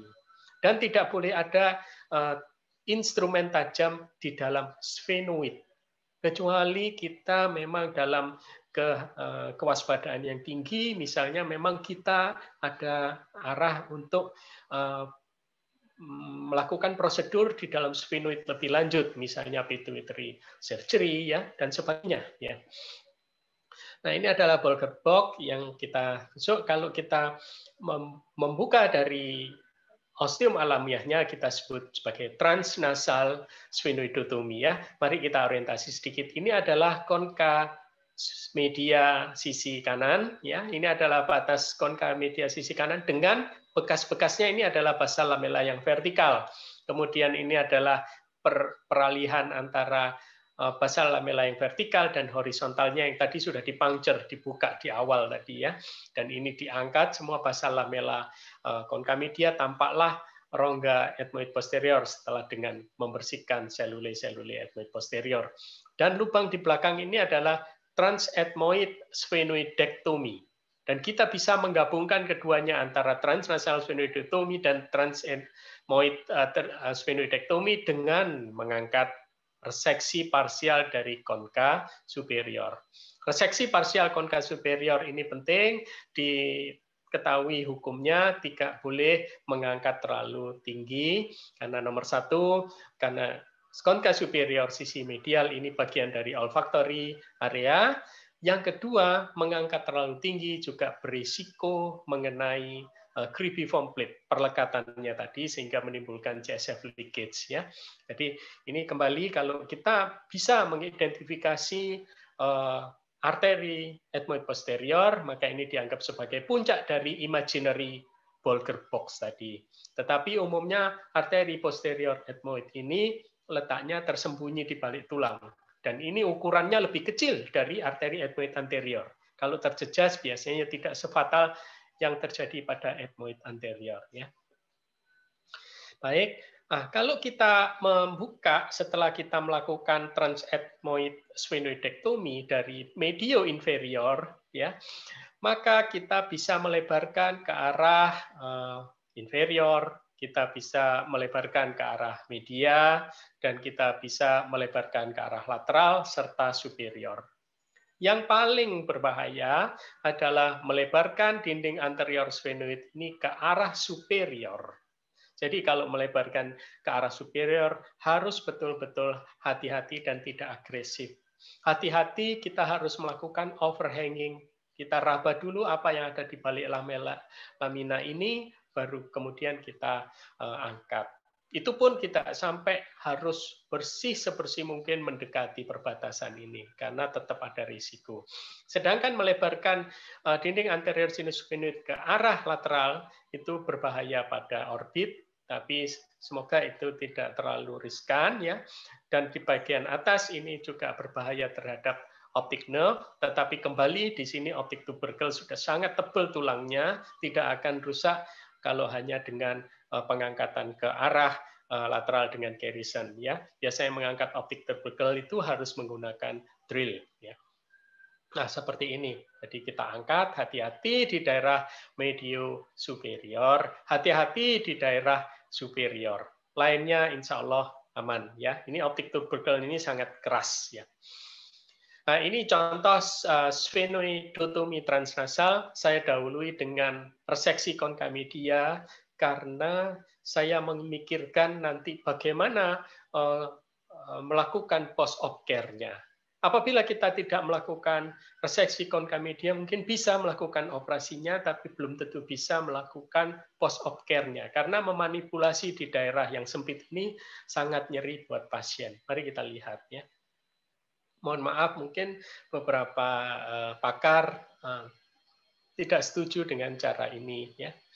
Karena bagaimanapun sebetulnya konka media itu merupakan struktur yang harus kita preserve ya, harus kita Nah, ini kalau kita melakukan uh, reseksi konka media, ingat setelah kita menemukan basal lamela yang horizontal, jadi acuannya kita terus ke posterior sampai mencapai basal lamela yang horizontal, kemudian kita ikuti uh, konka media yang melekat pada basal lamela yang horizontal.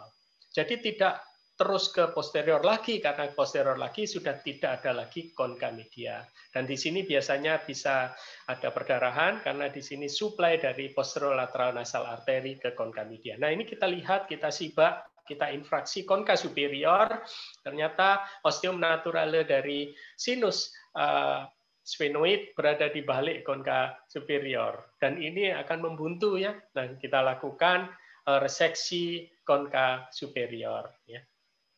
Ini hati-hati tidak boleh sampai pada terlalu tinggi sampai pada perlekatannya.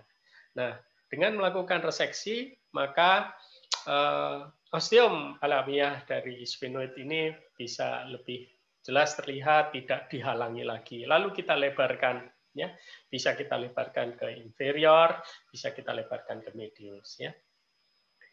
Ini teknik menggunakan Carrison betul-betul kita remas ya. Jadi seperti gerakannya patah-patah ini sebetulnya gerakan meremas betul.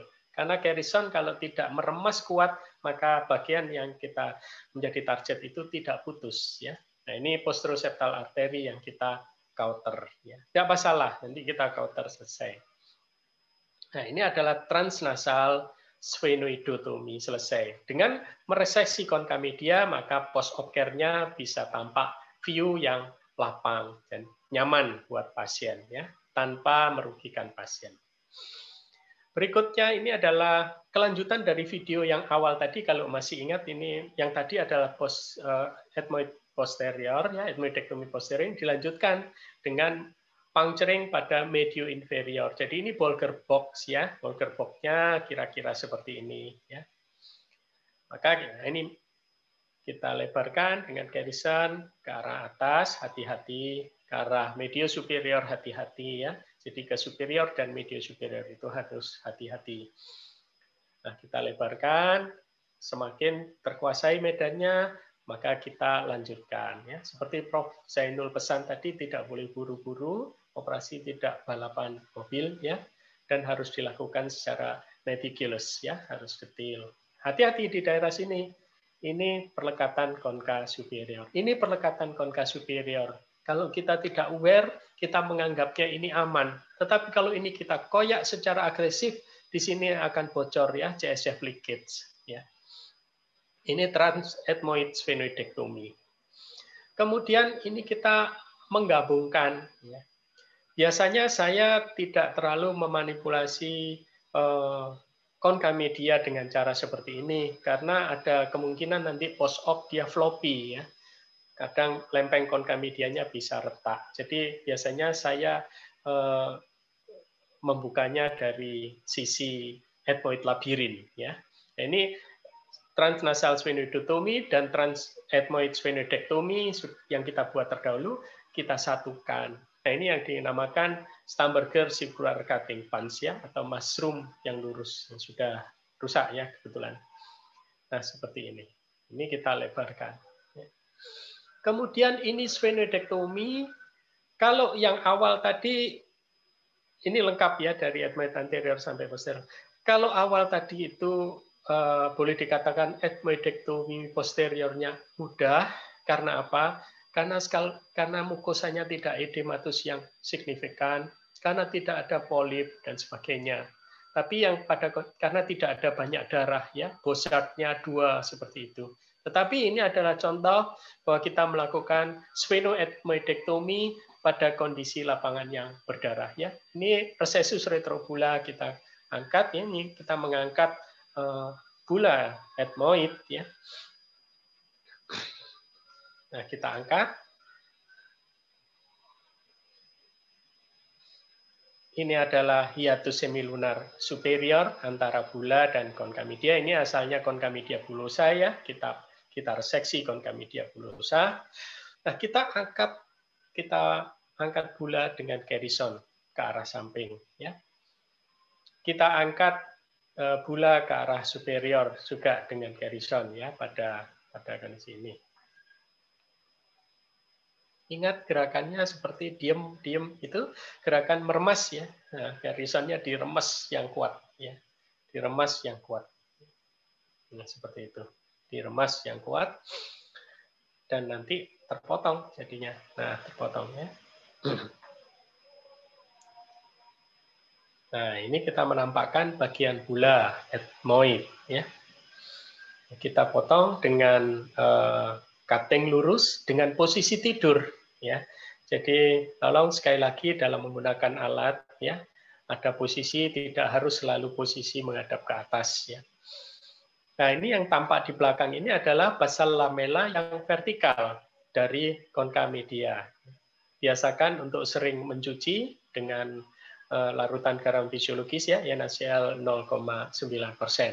Ini adalah bagian basal lamela yang ini adalah basal lemah yang horizontal, saya tunjukkan dengan C kuret ya, antum kuret, ini bagian vertikal dan tadi adalah peralihannya. Kita lihat juga dari konkamedia, konkamedia ini kan berhenti di basal lamela yang anterior. Di basal lamela yang horizontal, peralihan vertikal ya. Kemudian saya puncturing ya sedikit di bagian yang horizontal. Lihat konkamedianya ikut bergerak ya pada saat kita puncturing basal lamelanya ya. Dari lubang yang kita buat ini, maka kita lebarkan. Bisa dengan cutting yang menghadap ke atas 45 derajat maupun dengan uh, garrison ya.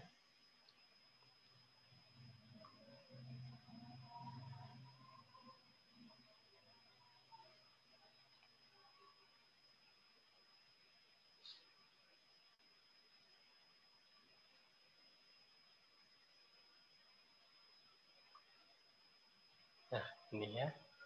Nah, dari sini uh, tidak bisa tampak indah rapi seperti itu ya. Ini kondisi-kondisi jika kita menjumpai mukosa yang edematus ya dengan kondisi uh, medan operasi yang berdarah ya.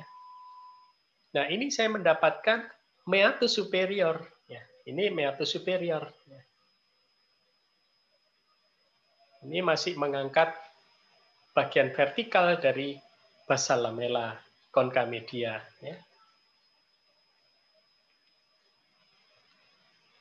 Di daerah sini ini harus hati-hati karena ini adalah area lateral lamella ya. Jadi kalau saya biasanya mengangkat dengan garrison, garrisonnya nanti sampai di atas dia menghadapnya ke arah lateral. Ya. Ini masih membersihkan basal lamella yang vertikal ya, untuk mendapatkan gambaran peralihan yang jelas. Ini masih sisa dari basa lamela yang vertikal. Overhanging teknik, ya, overhanging, ya. angkat. Ya. Hati-hati tulangnya melukai mukosa, ya, dikemudikan yang baik. Oke, saya melihat basal lamela konka superior di belakang sana. Saya coba memasukkan ball probe ya, ada yang tertinggal nih. Nah, saya memasukkan ball probe ya. Nah, ball probe saya masukkan, saya tunjukkan bahwa saya berada di meatus superior. Nah, itu ball probe-nya ya, ujung ball probe-nya. Kita berarti berada di meatus superior.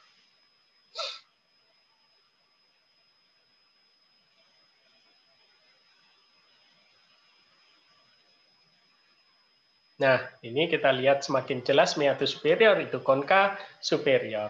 Ya. Ini basal lamela dari konka superior.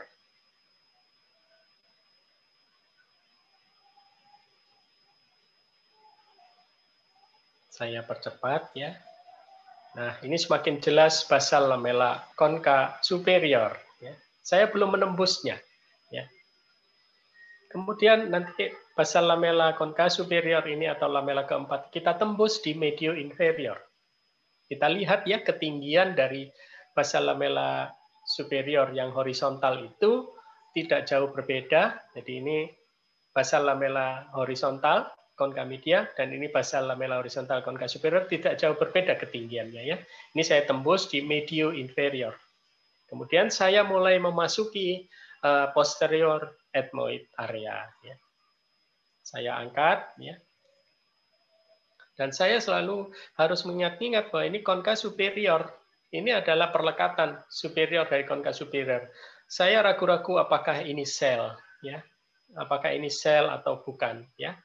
Dan ini saya buka dengan eh, apa namanya C kuret dan ternyata ini adalah bagian dari tulang konka superior. Jadi hati-hati ya, kalau saya terlalu agresif nanti membuka ini bisa timbul CSF leakage, ya. Nah ini kondisi seperti ini ethmoidectomy posterior menjadi tidak mudah Sadi ethmoidectomy posterior menjadi tidak mudah jika nah ini kita coba lihat ya.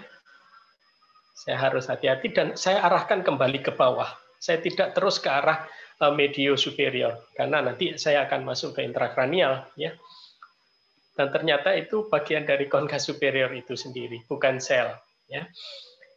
Jadi kembali kalau ethmoidectomy posterior itu menjadi tidak mudah jika mukosanya udin jika banyak darah. Jika ada patologi lain seperti polip di situ. Ya. Jika variasi, variasi anatominya terlalu kompleks, bagaimana tadi yang disampaikan oleh Dr. Reza. Nah, ini saya berusaha untuk membersihkan sel-sel di inferolateral dari uh, posterior ethmoid. Ya. Karena ini pitfall, sering kali kita tertinggal sel-sel di arah inferolateral. Ini saya berganti menggunakan Garrison, tetap nomor 2, tetapi 90 derajat menghadap ke bawah. Ini saya membersihkan bagian dari ini dinding anterior sinus sphenoid. Ya. Kalau saya begini berarti saya sedang mengganti teleskop. Ya, ini saya ganti dengan teleskop 30.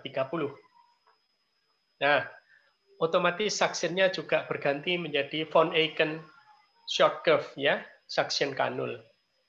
Ini saya mulai ke arah depan ya. Jadi nanti lakukan kombinasi para sejawat sekalian kalau membuka sini tidak harus langsung bersih di belakang, tetapi harus diingat bahwa kita nanti kembali ke sana ya. Jadi ini saya coba identifikasi ke arah anterior. Bahkan nanti saya coba dengan frontal sinusotomi terlebih dahulu, baru saya kembali lagi ke belakang. Jadi eh, kita retrograde juga antegrade ya, jadi combine. Nah, ini konka superior. Saya coba mengidentifikasi osteum alamiah sinus venoid tapi tidak bisa ditemukan di sini ya. Jadi saya reseksi konka superior, ya. saya reseksi konka superior sampai ke dinding anterior sinus sphenoid ya, dinding anterior sinus sphenoid.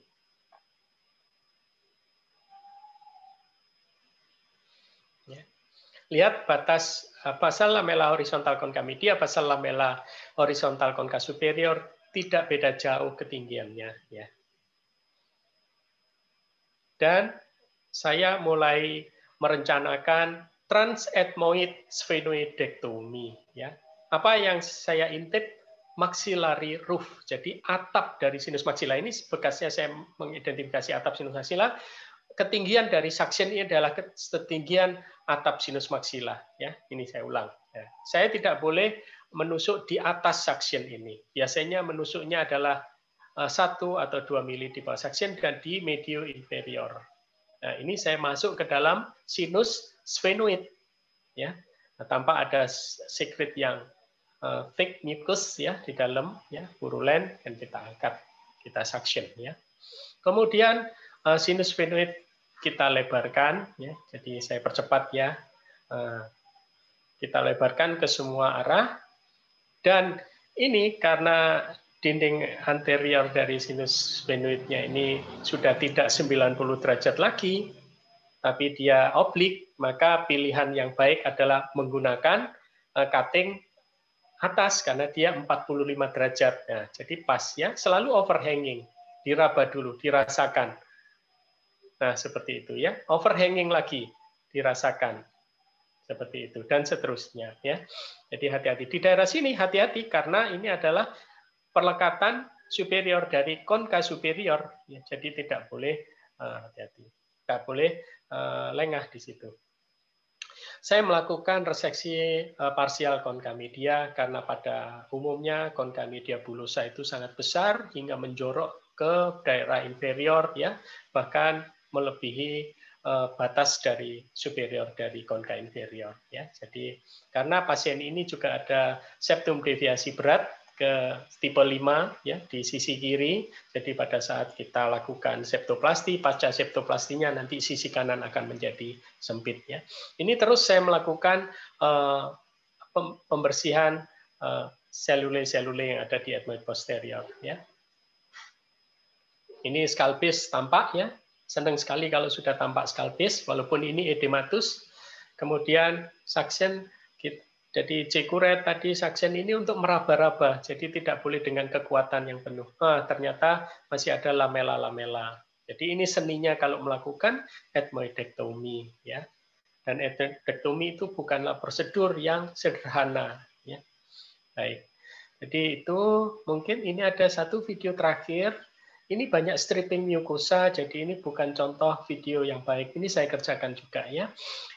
Ini memberikan contoh gambaran ethmomaxillary sinus yang pada saat itu saya belum tahu kenapa ada sel bentukannya seperti ini ya. Jadi saya percepat aja ini saya melakukan bulektomi juga ya. Saya percepat. Nah, saya masuk ke ethmoid posterior ya.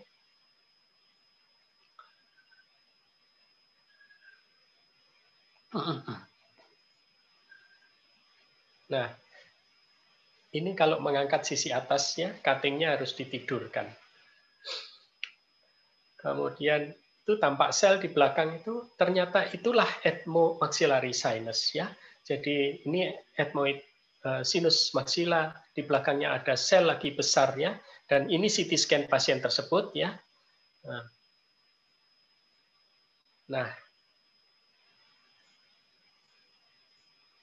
saya percepatnya itu itu sphenoidectomy ya. Dan kita perlebar ya. Ya. Saya percepat. Nah, ini banyak sekali stripping mucosa. Ini tidak bukan contoh yang baik ya. Kemudian saya ingin menunjukkan ethmomaxillary sinusnya tadi. Ya ini ethmomaxillary sinus ya jadi ini sinus sphenoid, ethmoid posterior ya, dan banyak stripping mucosa. Kemudian alat-alat yang digunakan umumnya untuk sphenoidectomy kita hanya butuh 0 derajat. Kemudian alat-alat lainnya kalau ada mushroom alangkah baiknya ya. Ini Haycheck Doppler mirip dengan Carison tapi headnya ini lebih besar ya. Dan ini yang diambil lebih banyak. Bagus juga ya. Saya kira itu yang bisa saya sampaikan. Eh, kurang lebihnya mohon maaf ya. Semoga yang sedikit bisa saya sampaikan ini bermanfaat. Saya kembalikan ke Dr. Irwan. Terima kasih Dr. Budi. Ya, menarik ya. Tadi bisa dibandingkan mana yang eh, apa operasi yang memang bisa smooth ya, artinya tidak ada tidak terlalu banyak perdarahan, tetapi juga ada operasi yang memang kita menghadapi Iya, kalau mau dibilang anu ya itu suatu tantangan ya, challenge. Tapi kita juga harus hati-hati betul menguasai medan yang ini ya. Baik, terima kasih Dokter Budi, Dokter Esa yang sudah uh, menyajikan suatu hal yang uh, sangat bermanfaat untuk kita. Saya berharap teman-teman sudah bisa melihat dan juga bisa mengambil manfaat dari apa yang bisa ditampilkan saat ini. Tiba saatnya kita akan masuk ke uh, pertanyaan. Saya perhatikan di sini di Q&A ada dua pertanyaan. Monggo silakan. Coba ini saya lihat dari yang pertama dari Dr. Dini Fitrilia. Apakah basa lamela pars vertikal harus dihabiskan ataukah hanya perlu sedikit saja basa lamela konkamedia yang ditembus untuk bisa akses ke ethmoid posterior dan drainasenya. Silakan Dokter Budi untuk menjawabnya. Silakan. Ya, terima kasih Dokter. Terima kasih Dokter Dini.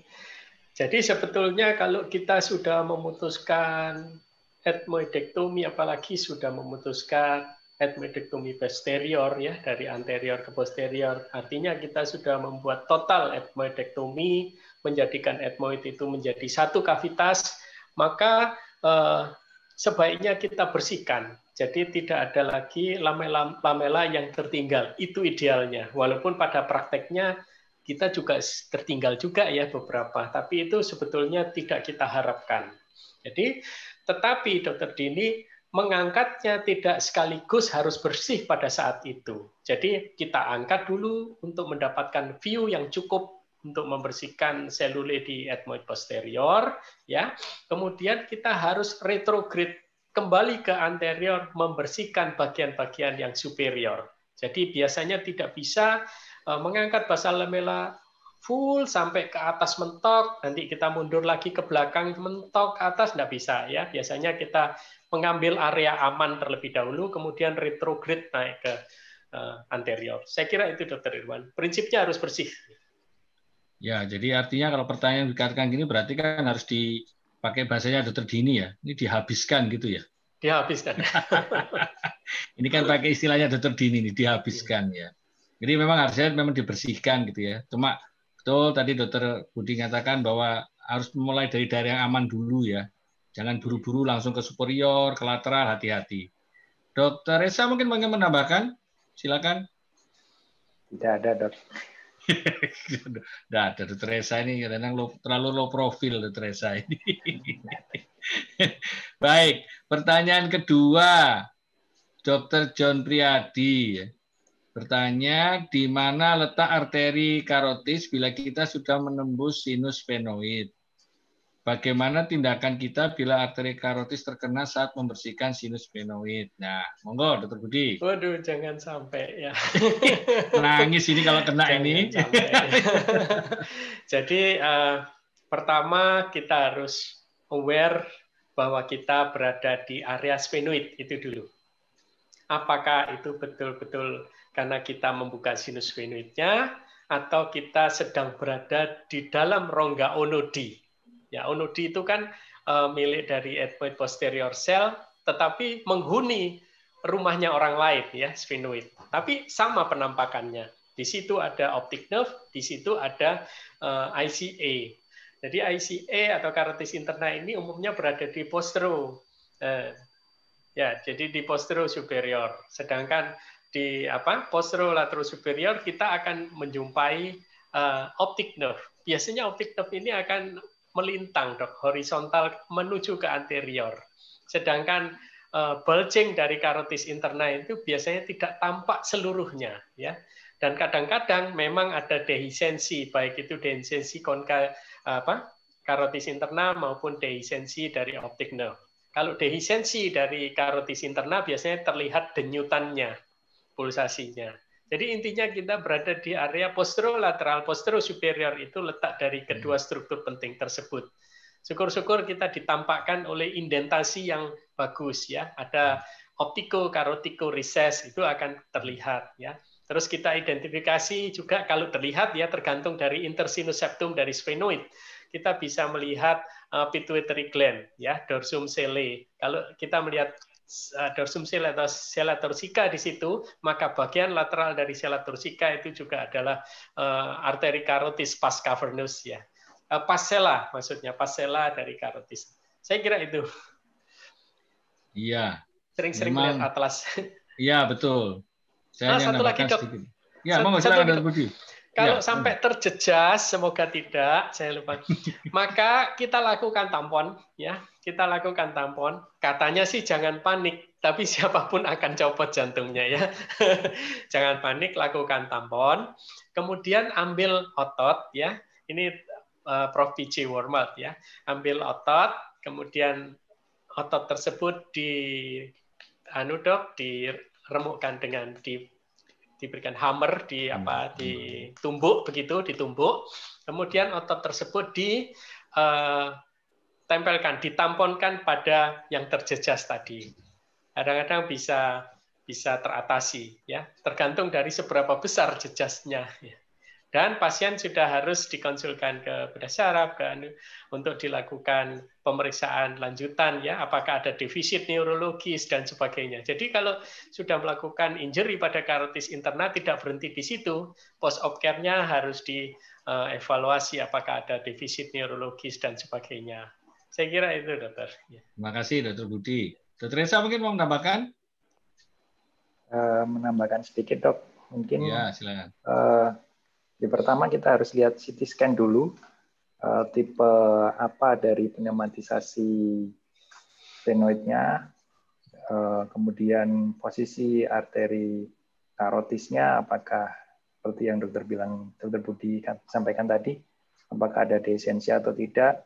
Kemudian uh, untuk membersihkan area intrasinus, kafum sinus kita harus AFU, jadi harus harus bisa melihat uh, intrasinusnya kalau memang ingin ingin melebarkan ostium sinus sehingga kita bisa lihat uh, apakah di bagaimana struktur di di bagian dalam dari kafum sinus uh, sinus venoid tersebut. Ya, ya. Terima kasih Dokter Reza. Terima Betul kasih, sekali ya. ya. Jadi kalau Bu, saya hanya namakan sedikit saja. Tadi sudah dibetul tadi itu. Jadi sekali lagi kita harus betul-betul lihat kalau teleskop kita belum bisa masuk berarti ya. Tetapi kita curiga ada sesuatu di dalam sinus venoid ya. Memang harus dilebarkan dan kita harus mendekati betul. Jangan coba-coba kita dari jauh gitu ya. Masih di luar sinus tapi kita meraba-raba. Itu sangat berbahaya. Jadi harus betul-betul afu, diperlebar sampai ke teleskop kita bisa melihat kelainan apa yang ada di dalam itu. Itu saja sebetulnya. Memang di daerah situ harus hati-hati, ekstra hati-hati, pelan-pelan gitu ya. Tidak perlu buru-buru. Betul tadi yang di depan sebelum kita mulai tadi kan ada beberapa slide ya yang ditampilkan Dr. Budi. Cuma saya memang tulisannya tadi pas ada gangguan tadi. Tapi tidak apa-apa. Itu memang pesan untuk kita semua sebetulnya. Ya. Baik, pertanyaan yang ketiga ini ada Dokter Yoke ya, Yoke tak Yoke, tapi sudah. Saya Dokter Yoke. Mohon izin menanyakan saya saat kita melebarkan osteum sphenoid, kapan kita harus memakai mushroom punch dan kapan kita harus pakai kerisen? Apakah kelebihan dan kekurangan alat tersebut dalam melebarkan osteum sphenoid? Terima kasih banyak, dokter. Monggo, dokter ya. Budi. Terima kasih, dokter Yoke. Nah, jadi uh, kalau masih masih celahnya sempit, di mana garrison masih sulit untuk masuk, itu biasanya kita awali dengan mushroom. Itu akan lebih mudah, dok. Ya. Tetapi kalau sudah aksesnya sudah terbuka, maka garrison bisa masuk. Itu sama-sama, ya. Tergantung nanti dari dari apa namanya, dari arah yang kita butuhkan. Sama-sama dia itu 90 derajat motongnya. Jadi kalau ada lempeng yang tegak, kita bisa pilih kerisen, bisa pilih mushroom. Nah, kadang kalau kita menggunakan mushroom, tentu akan lebih lambat ya kalau sudah terlihat aman. Nah, kalau kita menggunakan kerisen itu lebih cepat. Tetapi yang saya sampaikan di awal sesi 3 kemarin, kalau kita menggunakan kerisen, itu feel kita bisa berkurang. Setiap kita menggunakan alat yang berat, itu akan mengurangi sensasi taktil kita ya. Jadi feel kita itu hati-hati. Jadi harus betul-betul afu tadi ya. Ya. Betul teleskop harus dekat. Kalau kita mengangkat suatu struktur penting, teleskop harus mendekat betul. Terima kasih. Saya kira itu. Terima kasih, Dr. Budi. Betul ya. Jadi itu sebetulnya tergantung uh, Dokter Yoke alatnya itu betul-betul harus melatih tangan ya. Feel dari tangan itu dengan alat itu harus betul-betul uh, dirasakan ya supaya nanti pada waktu memotong pada waktu itu kita betul-betul mengendalikannya dengan baik. Dokter Isa ada tambahan? Dada? Oke. Pertanyaan berikutnya dari Dokter Anton Sony Wibowo.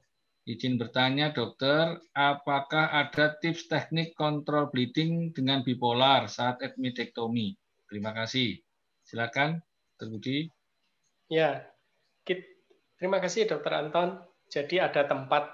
Jadi kalau kita uh, mengenai uh, arteri, maka kita gunakan counter bipolar. Ya.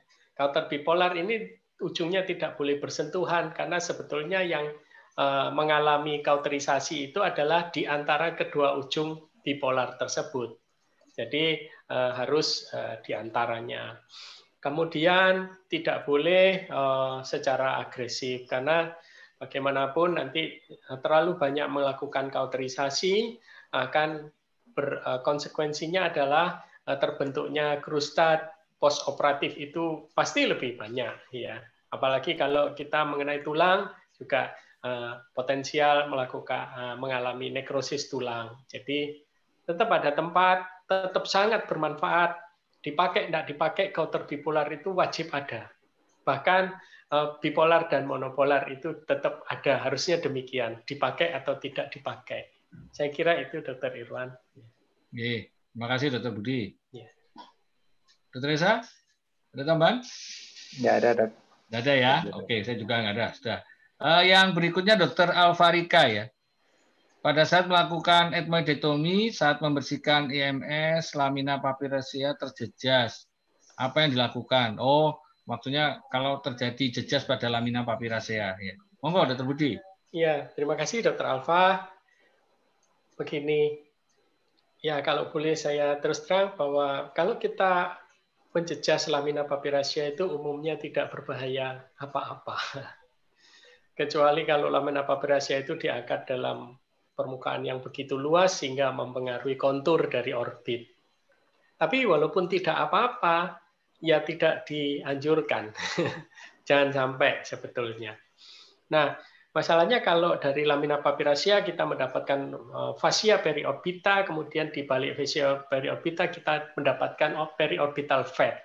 Periorbital fat ini semakin ke posterior itu semakin nggak ada. Jadi dan uh, nervus opticus semakin ke posterior semakin jaraknya dekat dengan lamina papiracea. Sehingga jika kita melakukan jejas pada lamina papiracea, takutnya bukan lamina papiraceanya itu, tetapi struktur setelahnya. Jadi misalnya musculus muscle rectus eh, apa eh, rectus medialis ya. Kemudian eh, nervus opticus itu sendiri itu yang sebetulnya kita khawatirkan. Kalau yakin hanya menjejas lamina papiracea, tidak perlu tindakan apa-apa, Dokter Alfa. Ya, saya kira itu, Dokter Irwan. Ya, terima kasih Dr. Budi. Yang pasti adalah kesadaran kita bahwa kita melakukan jejas. Itu dulu ya. Jangan sampai kita tidak sadar bahwa kita melakukan jejas pada lamina papiracea terus diterus noai. Nah, itu yang bahaya. Ya. Jadi artinya bahwa kita harus betul-betul paham betul bahwa daerah mana yang tidak boleh kita lewati, sisi lateral mana yang tidak boleh kita lewati. Itu yang mungkin harus hati-hati. Dan kalau sudah terkena ya sebetulnya hati-hati saja sebetulnya tidak tidak tidak tidak terlalu berbahaya terutama yang bagian anterior ya. Baik. Uh, Tambahkan sedikit dok. Silakan dokter Reza. Saya masih uh, milih lagi. Monggo monggo silakan. Benar kita harus yang paling penting kita memang harus sadar bahwa kita menjejas lamina papiracea. Kalau apabila terjejas, uh, apa yang kita lakukan?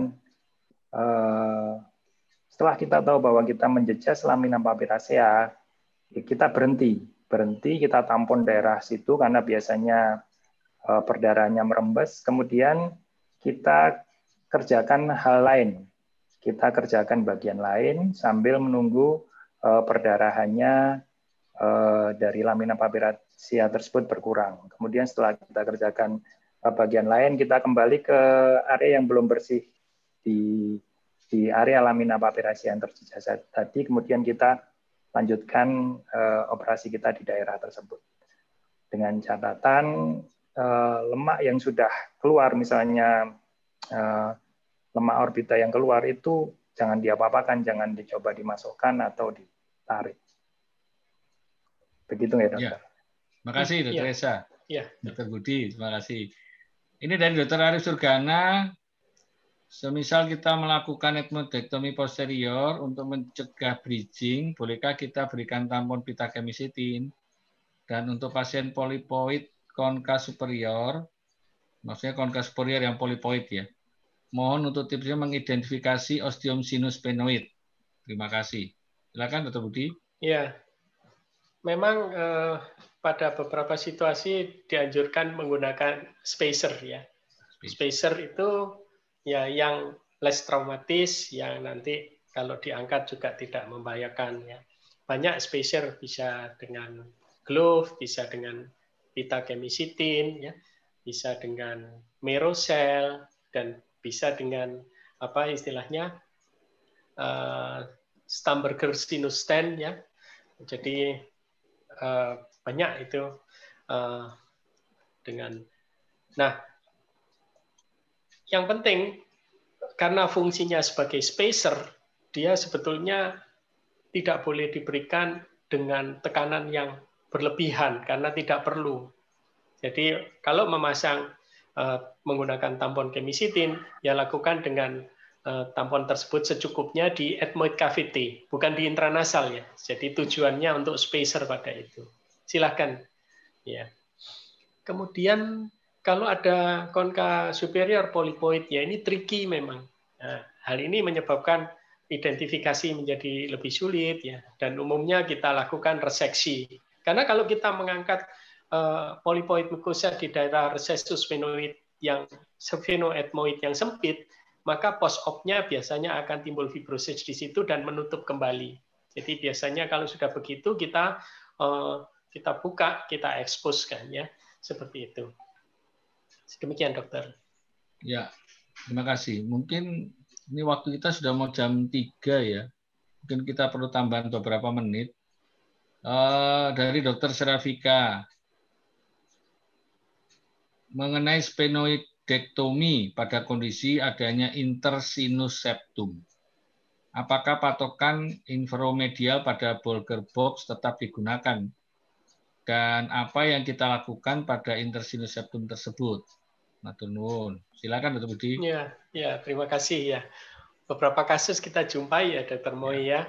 Uh, jadi ya tetap kita melakukan Bolger box itu sebetulnya start untuk menusuk. Jadi Bolger box itu sebetulnya panduan aja bahwa kita nanti akan puncturing dari dinding anterior sinus venoid di medio inferior. Jadi setelah itu ya harus diselesaikan dengan Eh, teknik menyesuaikan adanya anatomi yang bermacam-macam di dalam. Kalau dihalangi oleh adanya intersinus septum, karena kadang intersinus septum ini bisa nyebrang ke arah eh, sinus kontralateralnya. Ya. Jadi ya kalau ini mengganggu intersinus septumnya bisa kita bongkar. Tetapi umumnya kalau tidak mengganggu kita biarkan. Kalau kita bongkar intersinus septum itu maka berarti kita menyatukan sinus venoid kanan dan kiri. Dan kalau membongkar intersinus septum itu harus melihat mempelajari CT scan-nya. Kalau intersinus septum itu mengarah ke karotis interna, membongkarnya dianjurkan menggunakan drill atau bor. Tidak boleh di twisting menggunakan uh, forceps karena itu akan mencederai uh, bisa berisiko mencederai karotis internanya. Saya kira itu dokter. Jadi situasional nanti. Ya, terima kasih Dr. Budi.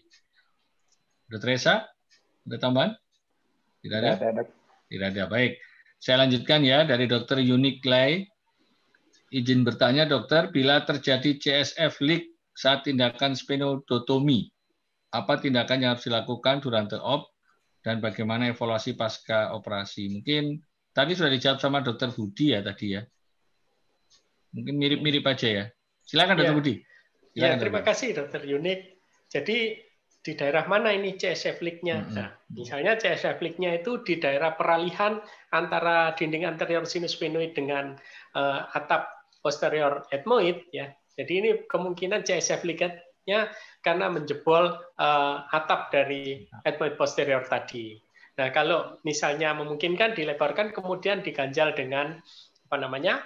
Uh, fat, abdominal fat ya dan mukosa sekitar dari defect tadi harus kita perluas, mukosanya harus kita angkat dan kita tutup kembali nanti dengan apa namanya uh, uh, dengan flap, dengan dengan free flap ya, free graft dan sebagainya kita bisa lakukan.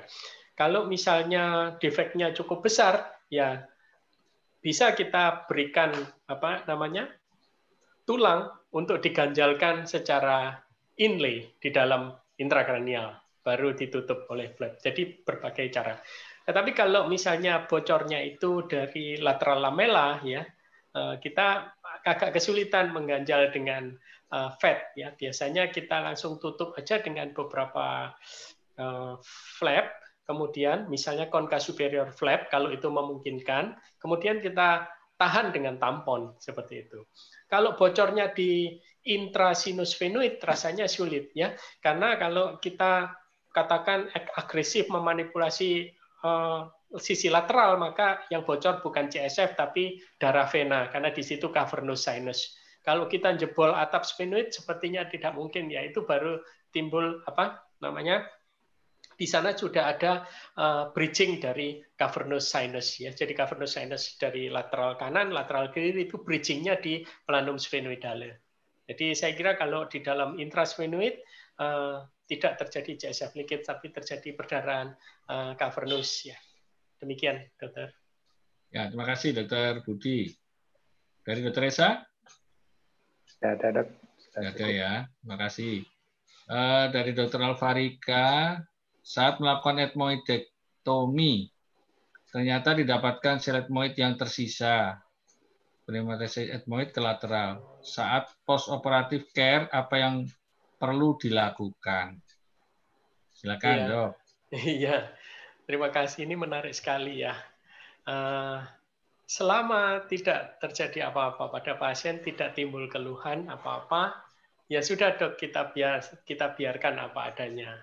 Tetapi pernah kami dapatkan kasus saya meninggalkan sel di area infralateral itu dan pasien terus mengeluh nyeri kepala ya. Sedangkan area lain relatif sudah terbuka semua. Nah, terpaksa kalau demikian ya kita revisi surgery ya. Jadi kita lakukan reopen, kita lakukan revisi face. Demikian Dokter Irwan. Ya, setuju Dokter Budi ya. Ya, saya setuju. Kalau memang dari awal memang kalau kita lihat memang setelah post op tidak ada keluhan ya sudah jangan diotak-atik lagi. Kecuali sekali lagi kalau timbul keluhan atau kita timbul jaringan patologis yang lain yang malah nanti bisa menimbulkan eh, keluhan bagi pasien baru kita pertimbangkan. Tapi sebetulnya kalau tidak ada apa-apa ya sudah.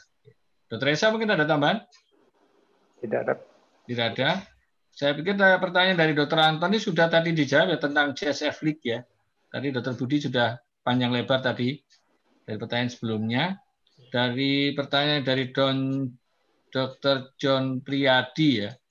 Bila ada sinusitis etmoid posterior dan sinusitis penoid, bagaimana sebaiknya kita lakukan terlebih dahulu membersihkan sinus etmoid posterior atau sinus penoid sphenoid mengingat risiko perdarahan sehingga yang akan menyulitkan sphenoidektomi dibandingkan sphenoidotomi. Iya. Jelas ya? Monggo Dr. Budi. Iya, terima kasih Dr. John.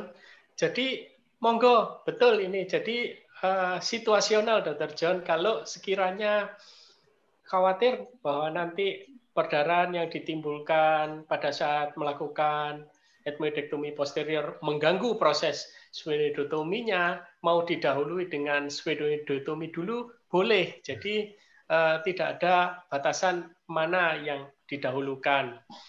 Jadi ini boleh boleh boleh saja, Dokter Irwan. Tapi kalau merasa bahwa nanti ah saya uh, etmoidektomi posterior dulu, nanti sphenoidektominya saya ambil dari transetmoid, baru nanti saya satukan dengan osteum alamiahnya, silakan. Jadi ini uh, silakan, Dokter. Ya. Mungkin izin, Dokter Irwan, saya ya. menjawab pertanyaan Dokter Anton ini mungkin maknanya berbeda. Jadi oh, ya, kapan, silakan, kapan kita curiga CSF leakage? Mungkin di seri 3 kemarin sempat saya singgung ya. Jadi Dokter iya. Anton ya. kalau melihat ada darah, kemudian di permukaan darah tadi ada cairan bening yang mengalir dan dia sesuai kadang-kadang dengan pulsasi. Ya bukan sesuai, memang sesuai dengan nah. pulsasi dari heart rate itu mungkin itu CSF leakage. Apalagi kita habis memanipulasi di daerah-daerah yang memang rawan.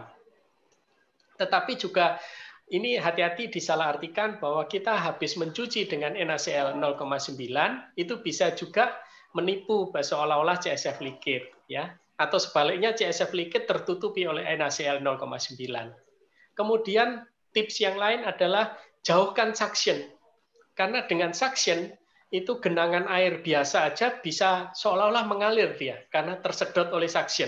Jadi pinggirkan suction itu terlebih dahulu, dekat-dekat teleskopnya, apakah aliran tersebut pulsatif. Kalau tidak ya bukan itu genangan biasa. Saya kira itu ini penting. Mohon maaf Dokter ya. Ya, nggak apa-apa. Terima kasih. Nggak apa-apa. Ya. ya, terima kasih Dokter Budi. Terus seingat saya memang seri kemarin juga sudah pernah dijelaskan. Tapi tidak apa-apa, ini diingatkan kembali supaya apa namanya eh, kita selalu ingat ya. Karena iya. kadang-kadang ya. kita lupa kalau kelewatan itu. Ya. Tadi untuk Dokter John sudah ya rasanya ya. Sudah. Dan Dokter Tommy sudah. Sekarang yang terakhir sepertinya, pertanyaan terakhir ini saat etmoidektomi posterior dan memotong konka superior terjadi perdarahan yang lumayan dok. Kira-kira menjejas arteri apa dan bagaimana mengatasinya? Monggo dok. Iya. Kalau melakukan etmoidektomi posterior, terus melakukan uh, memotong konka superior ada perdarahan, perdarahan perdarahan yang mungkin kalau di atas ya arteri posterior etmoid.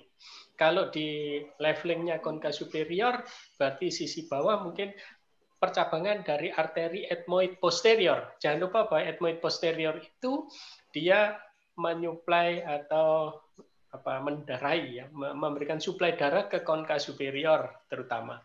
Kemudian ke uh, ya terutama ke konka superior. Kemudian hati-hati arteri posteroseptal arteri pada saat dia melintang. Melintangnya belum pada antara osteum apa osteum naturalis venoid dan koana tapi masih di levelnya konka superior itu juga bisa. Tetapi dok asalkan berada di area-area bawah itu bukan arteri-arteri yang berbahaya dalam artian itu tidak ada kaitannya dengan eh, CSF liquid atau rusaknya eh, lamina fibrosa itu. Saya kira itu. Ya, terima kasih Dokter Budi. Ada yang mau ditambahkan Dokter Esa? Ya, ada pertanyaan di ini dok di kolom Mana? chat dari oh, Dr. Oscar Jauhari. Seberapa besar kita reseksi konkamedia supaya tidak floppy? Seberapa besar? Iya. Terima kasih Dr. Oscar. Oscar ya. Yang membuat konkamedia floppy yang jika pegangan konkamedia itu hilang dalam hal ini kalau kita melakukan etmoidektomi pos eh, etmoidektomi Eh, total ya yang kita pertahankan adalah basal lamela yang horizontal ya kalau dulu disebut sebagai ground lamela karena itu yang menjadi pegangan konka media itu pertama jawabannya yang menyebabkan uh, konka media floppy atau tidak. Kedua kalau kita melakukan infraksi konka media itu juga akan menimbulkan patahnya lempeng konka media jadi ini juga berisiko timbulnya floppy. Jadi reseksi konkamedia ini boleh dikatakan asalkan tidak mengandung unsur infraksi, tidak uh, tetap mempertahankan basal lamella konka oh, yang horizontal, tidak tidak akan menimbulkan floppy, Dokter Oscar. Saya kira itu. Ya, terima kasih. Terima kasih Dokter Esa sudah bantu. Saya nggak ngelihat chat sama sekali. terima kasih. Baik, waktunya karena kita juga sudah habis ya. Sekali lagi terima kasih teman-teman sejawat, para senior yang sudah uh, hadir dalam pertemuan daring kita siang sampai sore hari ini dan sudah juga sudah kita berdiskusi dalam tanya jawab. Sekali lagi terima kasih. Terima kasih Dr. Budi, Dr. Budi Sutikno, Dr. Esa Martika yang juga sudah uh, aktif di dalam pertemuan kali ini. Dan sekali lagi kita akan bertemu dalam seri yang kelima seri kelima dan keenam kita akan masuk ke sinus frontal. Dan biarlah kita nanti sebelumnya mungkin kita juga sudah mulai baca-baca atau ada yang pengalaman dan mungkin kalau ada yang kelewatan sekali lagi monggo nanti dalam diskusi. Dan juga sebelum mengakhiri sekali lagi terima kasih dari AMC yang juga sudah menyediakan sarana pada uh, siang hari ini. Sekali lagi terima kasih untuk semuanya. Terus kita jaga kesehatan, terus semangat supaya kita bisa ketemu lagi di waktu yang akan datang. Terima kasih, saya kembalikan kepada Mbak Dea. Selamat ya, sore. Terima kasih. Ya, terima kasih. Uh, baiklah, Terima kasih kepada Dr. Budi Sutikno, Dr. Irwan Kristiono, dan Dr. Reza Mahardika. Eh, semoga materi yang disampaikan bermanfaat untuk kita semua. Bagi peserta webinar yang telat masuk atau tidak mengikuti webinar dapat melihat siaran ulangnya pada channel YouTube Advanced Medicare Corpora.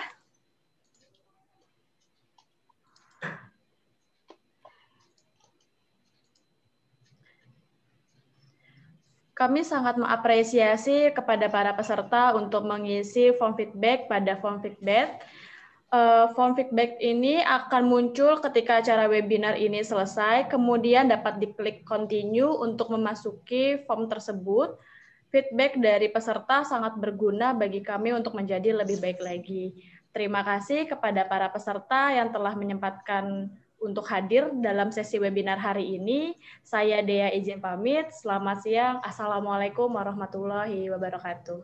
Waalaikumsalam warahmatullahi wabarakatuh. Terima kasih. Terima kasih Dr. Irwan, Dr. Esa, Mbak Dea, dan tim semua. Semuanya.